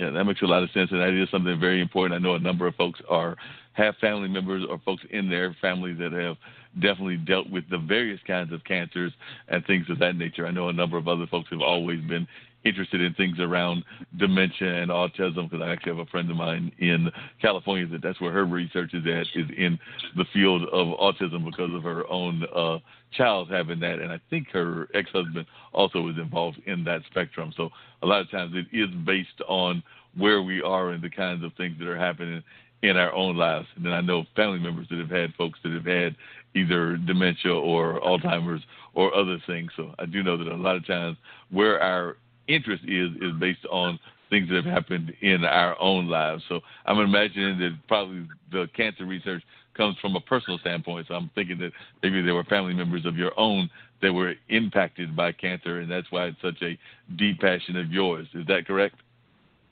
Absolutely. Uh, cancer has affected a lot of people, and yes, it is personal to me as well. Definitely. So, um, if you want to share any of those personal stories as to why it's important to you from a family standpoint, I'm sure our listeners would love to hear that. But if you want to leave that on the uh, plate as something that you don't want to share, I'm open with that as well. I don't. I know some people don't mind sharing those stories, and others like to keep them to themselves. So, it's up to you. Well, I, I, I for me, um, I just think it's important that we understand, um, you know, um, we understand what our options are in terms of treatment. And so when, when a person is diagnosed with cancer, there's so many uh, different um, treatment options that may be thrown. It's overwhelming. It, it really can be overwhelming. And um, I had a situation where someone near to me was diagnosed with triple negative breast cancer, which is kind of like the the newest one on the well the toughest one to, to treat because it doesn't have receptors that bind to the hormones and so it's a very difficult type of breast cancer to treat. And so i immediately threw myself into learning more about triple negative what's going on there. Why is it that those um, receptors are not binding? And um, so I, I want to do more of that and and so that really is where my interest is is is focusing on uh, not just breast cancer but any rare form of cancer. Um, you know, I want to know why is it so difficult to to treat them, and what other pathways can uh, we treat them um, to to give these people a, a, a you know a fighting chance at life. And so um, that's you know where my interest is and it is very no, personal. I mean, yeah. No, and I can understand that. I actually have a dear friend of mine who is a singer in the area, and they have actually been uh, and are in remission and in a state of remission, but they have been fighting breast cancer for a number of years and have definitely uh, gone through various treatments um, and have definitely uh, gone through the different styles of treatment in order to fight the disease. And like I said, as far as I know right now, it is in a state of remission, and hopefully that will stay that way. But I've also lost friends and family to different forms of cancer as well. So definitely I can relate to what you're saying about it being a personal battle because I have also gone through friends that have uh, dealt with different kinds of personal battles with their own cancers or their own ailments of different sorts. So definitely I can understand where you're coming at from that standpoint. So definitely can understand where you're saying from there. Um, getting ready to wrap up. We've got about another 10 minutes or so to go in the show, about 13 minutes. But one of the things that me and Dean were talking about earlier, and at the absolute end, I'll go with our usual wrap up question. But one of the things we were talking about is that um, Dean was asking me how my day had gone, and I was involved with my streaming podcast uh, network, IBM.TV, and they were talking about International Day of Peace. Today is International Day of Peace and things of that nature. So I was just wondering if you could share in your own thoughts what that means to you when you hear the word peace and what peace means to you. And I'll probably share that with my friends at that network because I know that that's something that they've been celebrating all day long. But I would love to hear you put it in your context what peace means to you, and it can be any type of peace. I mean, a lot of people would think of that in the sense of the conflict, but sometimes peace means something different to other folks. So, definitely, what does peace mean to you, and how do you think we can go about trying to achieve that perfect union of peace? Well, peace to me is just spreading love and uh, letting people know that you care. I think that's the greatest peace, uh, greatest joy um, that you could bring, um, you could give. It's just letting people know that you care, just humanity. And so that's what peace means to me. And I, I try to live my life that like that uh, every day. And you know, some people um, make it a little bit more challenging for you. However, um, it's within me, and you know, I, I believe the more love you can spread, uh, the more peaceful the world becomes. Yeah, definitely can agree with that. What are some of the hardest lessons that you have learned? Like you said, you've been at this for a while. You've been with Derek for a while. You had the pleasure of uh, knowing some great leaders, whether that was, I imagine you met John Lewis. I know you probably met John Valvano. So, what are some of the lessons that you've learned and everything from your own life and from some of the people that you have met. I said John, I met Jimmy Valvano. But what are some of the lessons that you have learned that are resonate the most with you, and where did you get those lessons from? Well, um, I was blessed and fortunate enough to have my mother in my life um, up until just this year. She gave the world 92 years, uh, 92 beautiful years and I got to experience that, and I'm not afraid to share my age. I got to experience 58 of her 92 years on this earth. And that woman inspired me to be everything that I am. And so I have to say, yes, I've met some wonderful people along the way, but none as great as my mother. And uh, she just, you know, instilled with me. She showed me how to love. She laid a foundation for me how to respect myself so that I can not um, ever have to uh, demand respect that it automatically comes. Um, she is the reason I'm the woman I am today, and so um, she's the most prolific person I've met in my lifetime.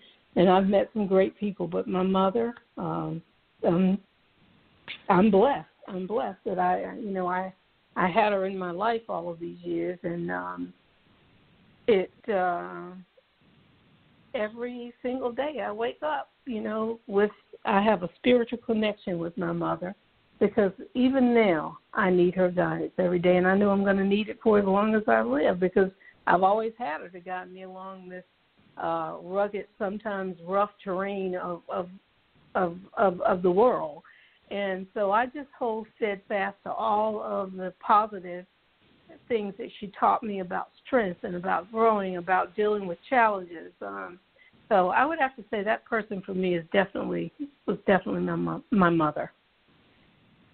Yeah, I can relate to that. My mom, who is still living and is still giving me advice to this day. Like I said, I was talking to her yesterday and might call her again tomorrow or Wednesday, but definitely I can relate to that. And I'm fortunate that both my mother and my dad are still living. Uh, they actually had uh, me as their first child at a relatively young age. So they're a little bit younger than uh, your mother um, was when, mm-hmm. uh, well, would be now because uh, dad is 80 and still very much involved in his art world. Uh, you know, he's done other things in his career, including being a teacher at UNC and being involved in uh, civil rights struggles to some degree, as well as being involved in a farm collective. And of course, he and my mom started a radio station up in Warren County. So they are definitely some folks that I have a great deal of admiration for, as uh, I also have for, like I said, my mom. That was my dad at the time. I did all that, but mom started that radio station along with dad, and was a guidance counselor there in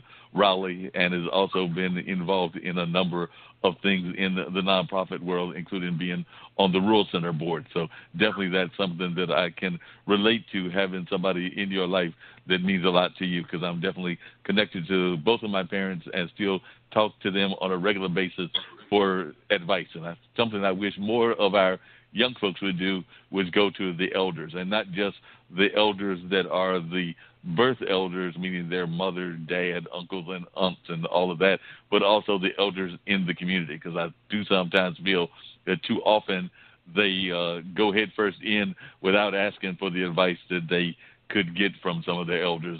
But I've also really been uh, impressed by what some of the young leaders are doing in terms of taking a leadership role. So don't want folks to yeah. think that I don't take their thoughts and as well because I have really been impressed as how uh, many of them have stepped into their own light and taken leadership roles. So I was wondering if you would uh, reflect on that as well because I know what my thoughts are that we're seeing a lot of young leaders, be that the BLM movement, be that uh, Greta and the peace movement, or a number of other folks that are actually stepping out into their limelight and doing some great work, even though they are young in age, I find many of them to be maybe that old adage of an old spirit. Um, I was just wondering your thoughts on that, Jacqueline. I think there are a lot of great young leaders out here doing some amazing things, and I think they're being successful because they are doing exactly what you just said. They're going to people who've already walked in those shoes and had those experiences, and they're sitting down and talking with them and asking them questions on how uh, those the experiences, the things that they experience, how they relate to what's happening now. And um, I think that's one of the reasons why a lot of these young leaders are being successful and they are reaching the people that they need to reach. Is because they are going back and they are sitting down and talking to um, some of the uh, elder people who have lived through probably worse than what we think is is bad now. And so, um, yeah, there's some young people doing some great things out there, and I love people who are willing to take on a leadership role. Um, but you have to know what you stand for when you do that.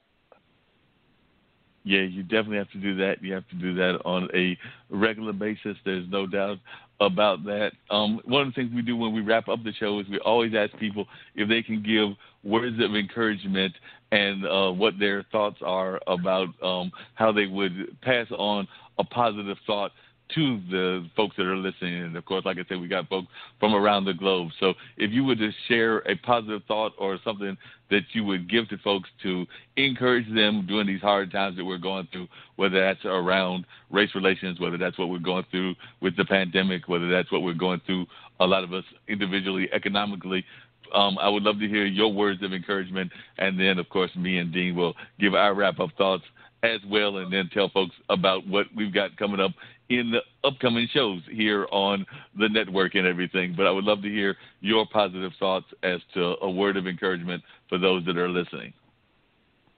Well, the biggest uh, piece of advice I can give, and, and this has been a great time to do this because we've had more time on our hands to reflect on things than we ever wanted right now because of this pandemic.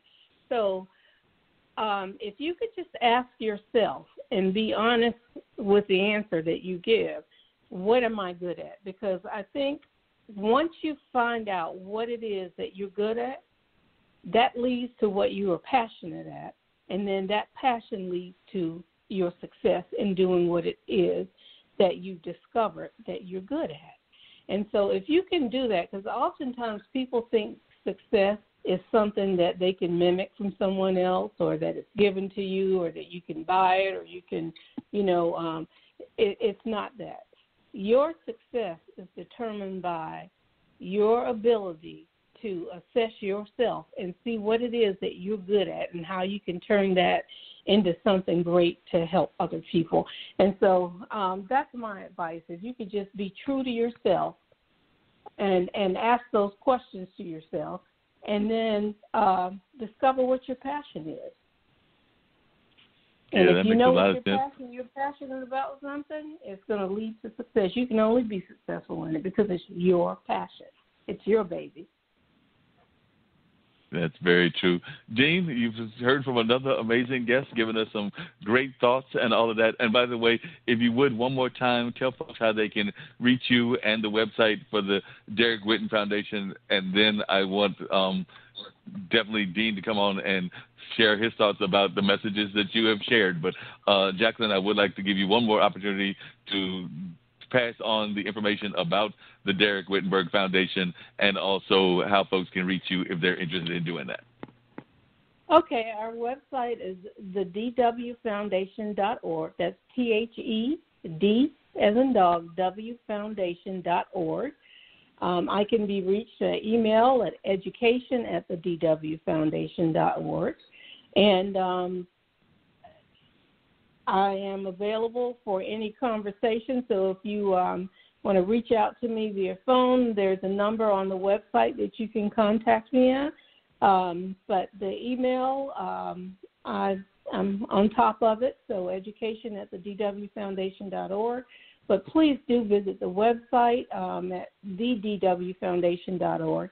And also like us on our social media. We're on Facebook, Instagram, LinkedIn, Twitter, and Medium.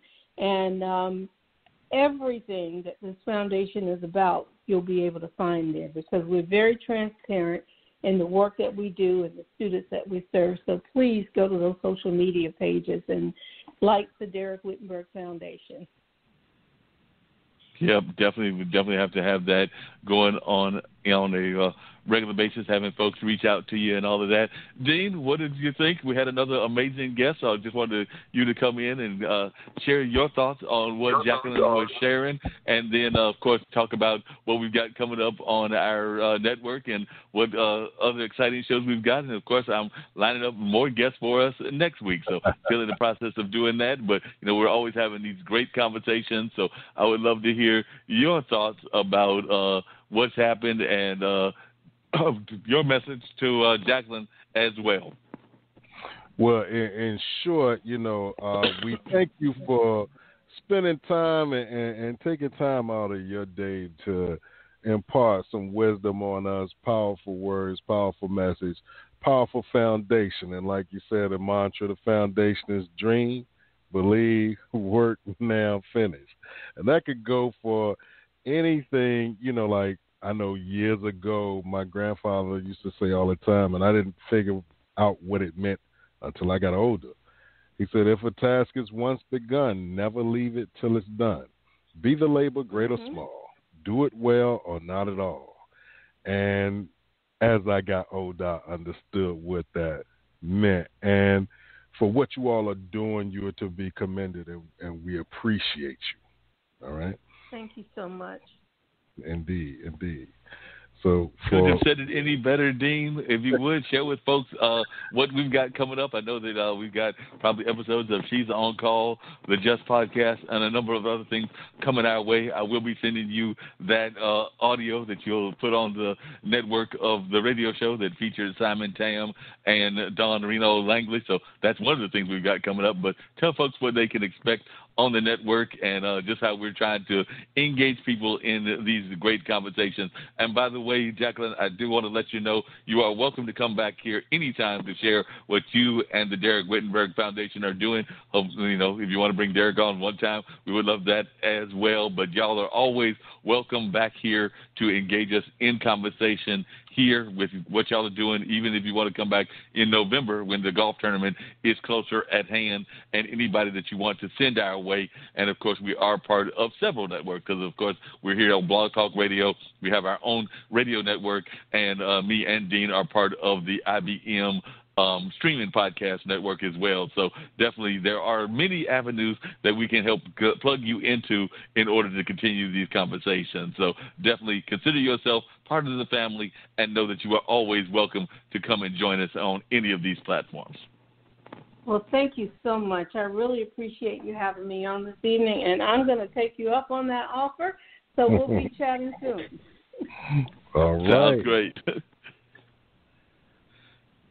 So right, uh, Dean, well, share with them once again what we got, and then, uh, like I said, I'll uh, maybe come in with a couple of very fast thoughts. But if you let folks know about what we've got coming up and how we just keep growing, because like I said, I'm I'm not even counting the countries because as far as I'm concerned, because I know I think our sister affiliation on uh, IBM.TV has gotten themselves in like 125 countries, maybe close to 200. So since we're part of that same family, I'm claiming the 200 as well. So as far as I'm concerned, we're in 50 states and almost 200 countries as far as I'm concerned because we're all part of a growing media network. Because like uh, between the different organizations that we have tied in together, um, all I got to say is, um, and I'm just going to spell them out: CBS, ABC, PBS.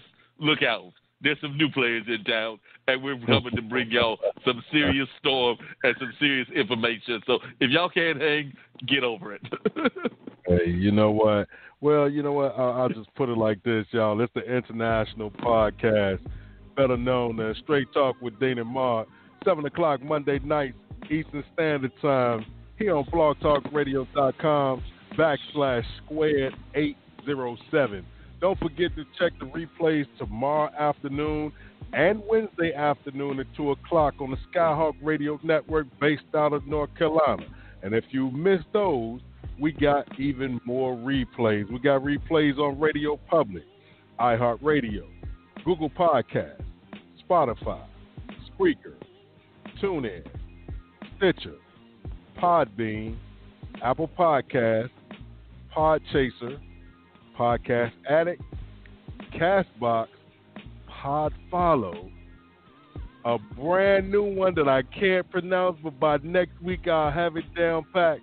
And right here on Blog Talk Radio, we're part of the Level Podcast Network where you can catch shows like Virginia Interfaith Live, WNC Original Music, the Let's Talk About It radio show, Funk from the Front Seat, Just Podcast, Mona Shake's Minority Reports, the Marc Lee Show, Mulling Music and Memories with Marc Lee, the Plant a Good Seed Podcast with Tish Oakley, Funk Music with Zach Roberson, Finish Social Hour, the Online Dinner Party with Marc Lee, the Chef Gang Radio Show, and us. Yes, like I said, we just keep coming at them left and right, and we just keep adding and trying to find new ways to tie folks into this amazing network we've got. One thing I can tell you is that I'm already in conversation with some folks. So whether it's out of the activism community, whether it's out of the creative community, or whether it's out of the education community, or maybe they're a mixture of all of those. But you can be sure that right now and throughout the course of this week, I will be reaching out, finalizing things, and we will have at least one, if not several, more amazing guests on next week. Because, like I said, we are engaging in a regular and amazing conversations to share our knowledge, but also to have the knowledge of others passed on to this global community. So definitely looking forward to having some more outstanding guests next week. Still trying to finalize who those guests will be, so that's why I can't give you a specific name, but do know that I am in conversations and we will have some great guests coming your way on next Monday, the 28th. And by the way, I think Dean just referenced it earlier, but as soon as the sun rises, on tomorrow, we will be in the first day of fall. That's right. We have now exited summer and we're now getting ready to go into fall. So it is about to be the first day of fall starting tomorrow. And we also know that that means we still have to be safe and not just dealing with what's going on with the COVID pandemic, but also remember that at least here in the South, we are in the middle of hurricane season, and I think we still got another six weeks to go of that. So we've already flipped, I think, into the B letters after having gone through some other letters. So they said it was going to be an active season, and we still got, I think, five or six more weeks to go there. And of course, we've got several weeks to go until we figure out um, what's going to happen in the election. And I agree with something that Dean said earlier. Somebody that's sitting in that office right now needs to pack his bags because I'm hoping and I'm praying on a regular basis that he's going to be having a new residence. I don't know where that residence is going to be. It might not even be in this country. I've heard speculations of Florida, but I've also heard speculations of Russia. But wherever it is, it doesn't need to be 1600 after we get the election accomplished and he has to move to a new location in the uh, latter part of January. So right now we're in fall. I'm hoping that in winter he's moving to a new house. What do you think, Dean? Hopefully he will, but you know what? I'm about to take off real quick and catch some of this football games. So, like I always say, when you walk outside your front door, showtime and the world is your stage. Just make sure that people are not watching the rehearsal. With that being said, it's the six man theme, Geronimo signing off. Have an outstanding week. We see y'all in seven days. And we'll catch you then.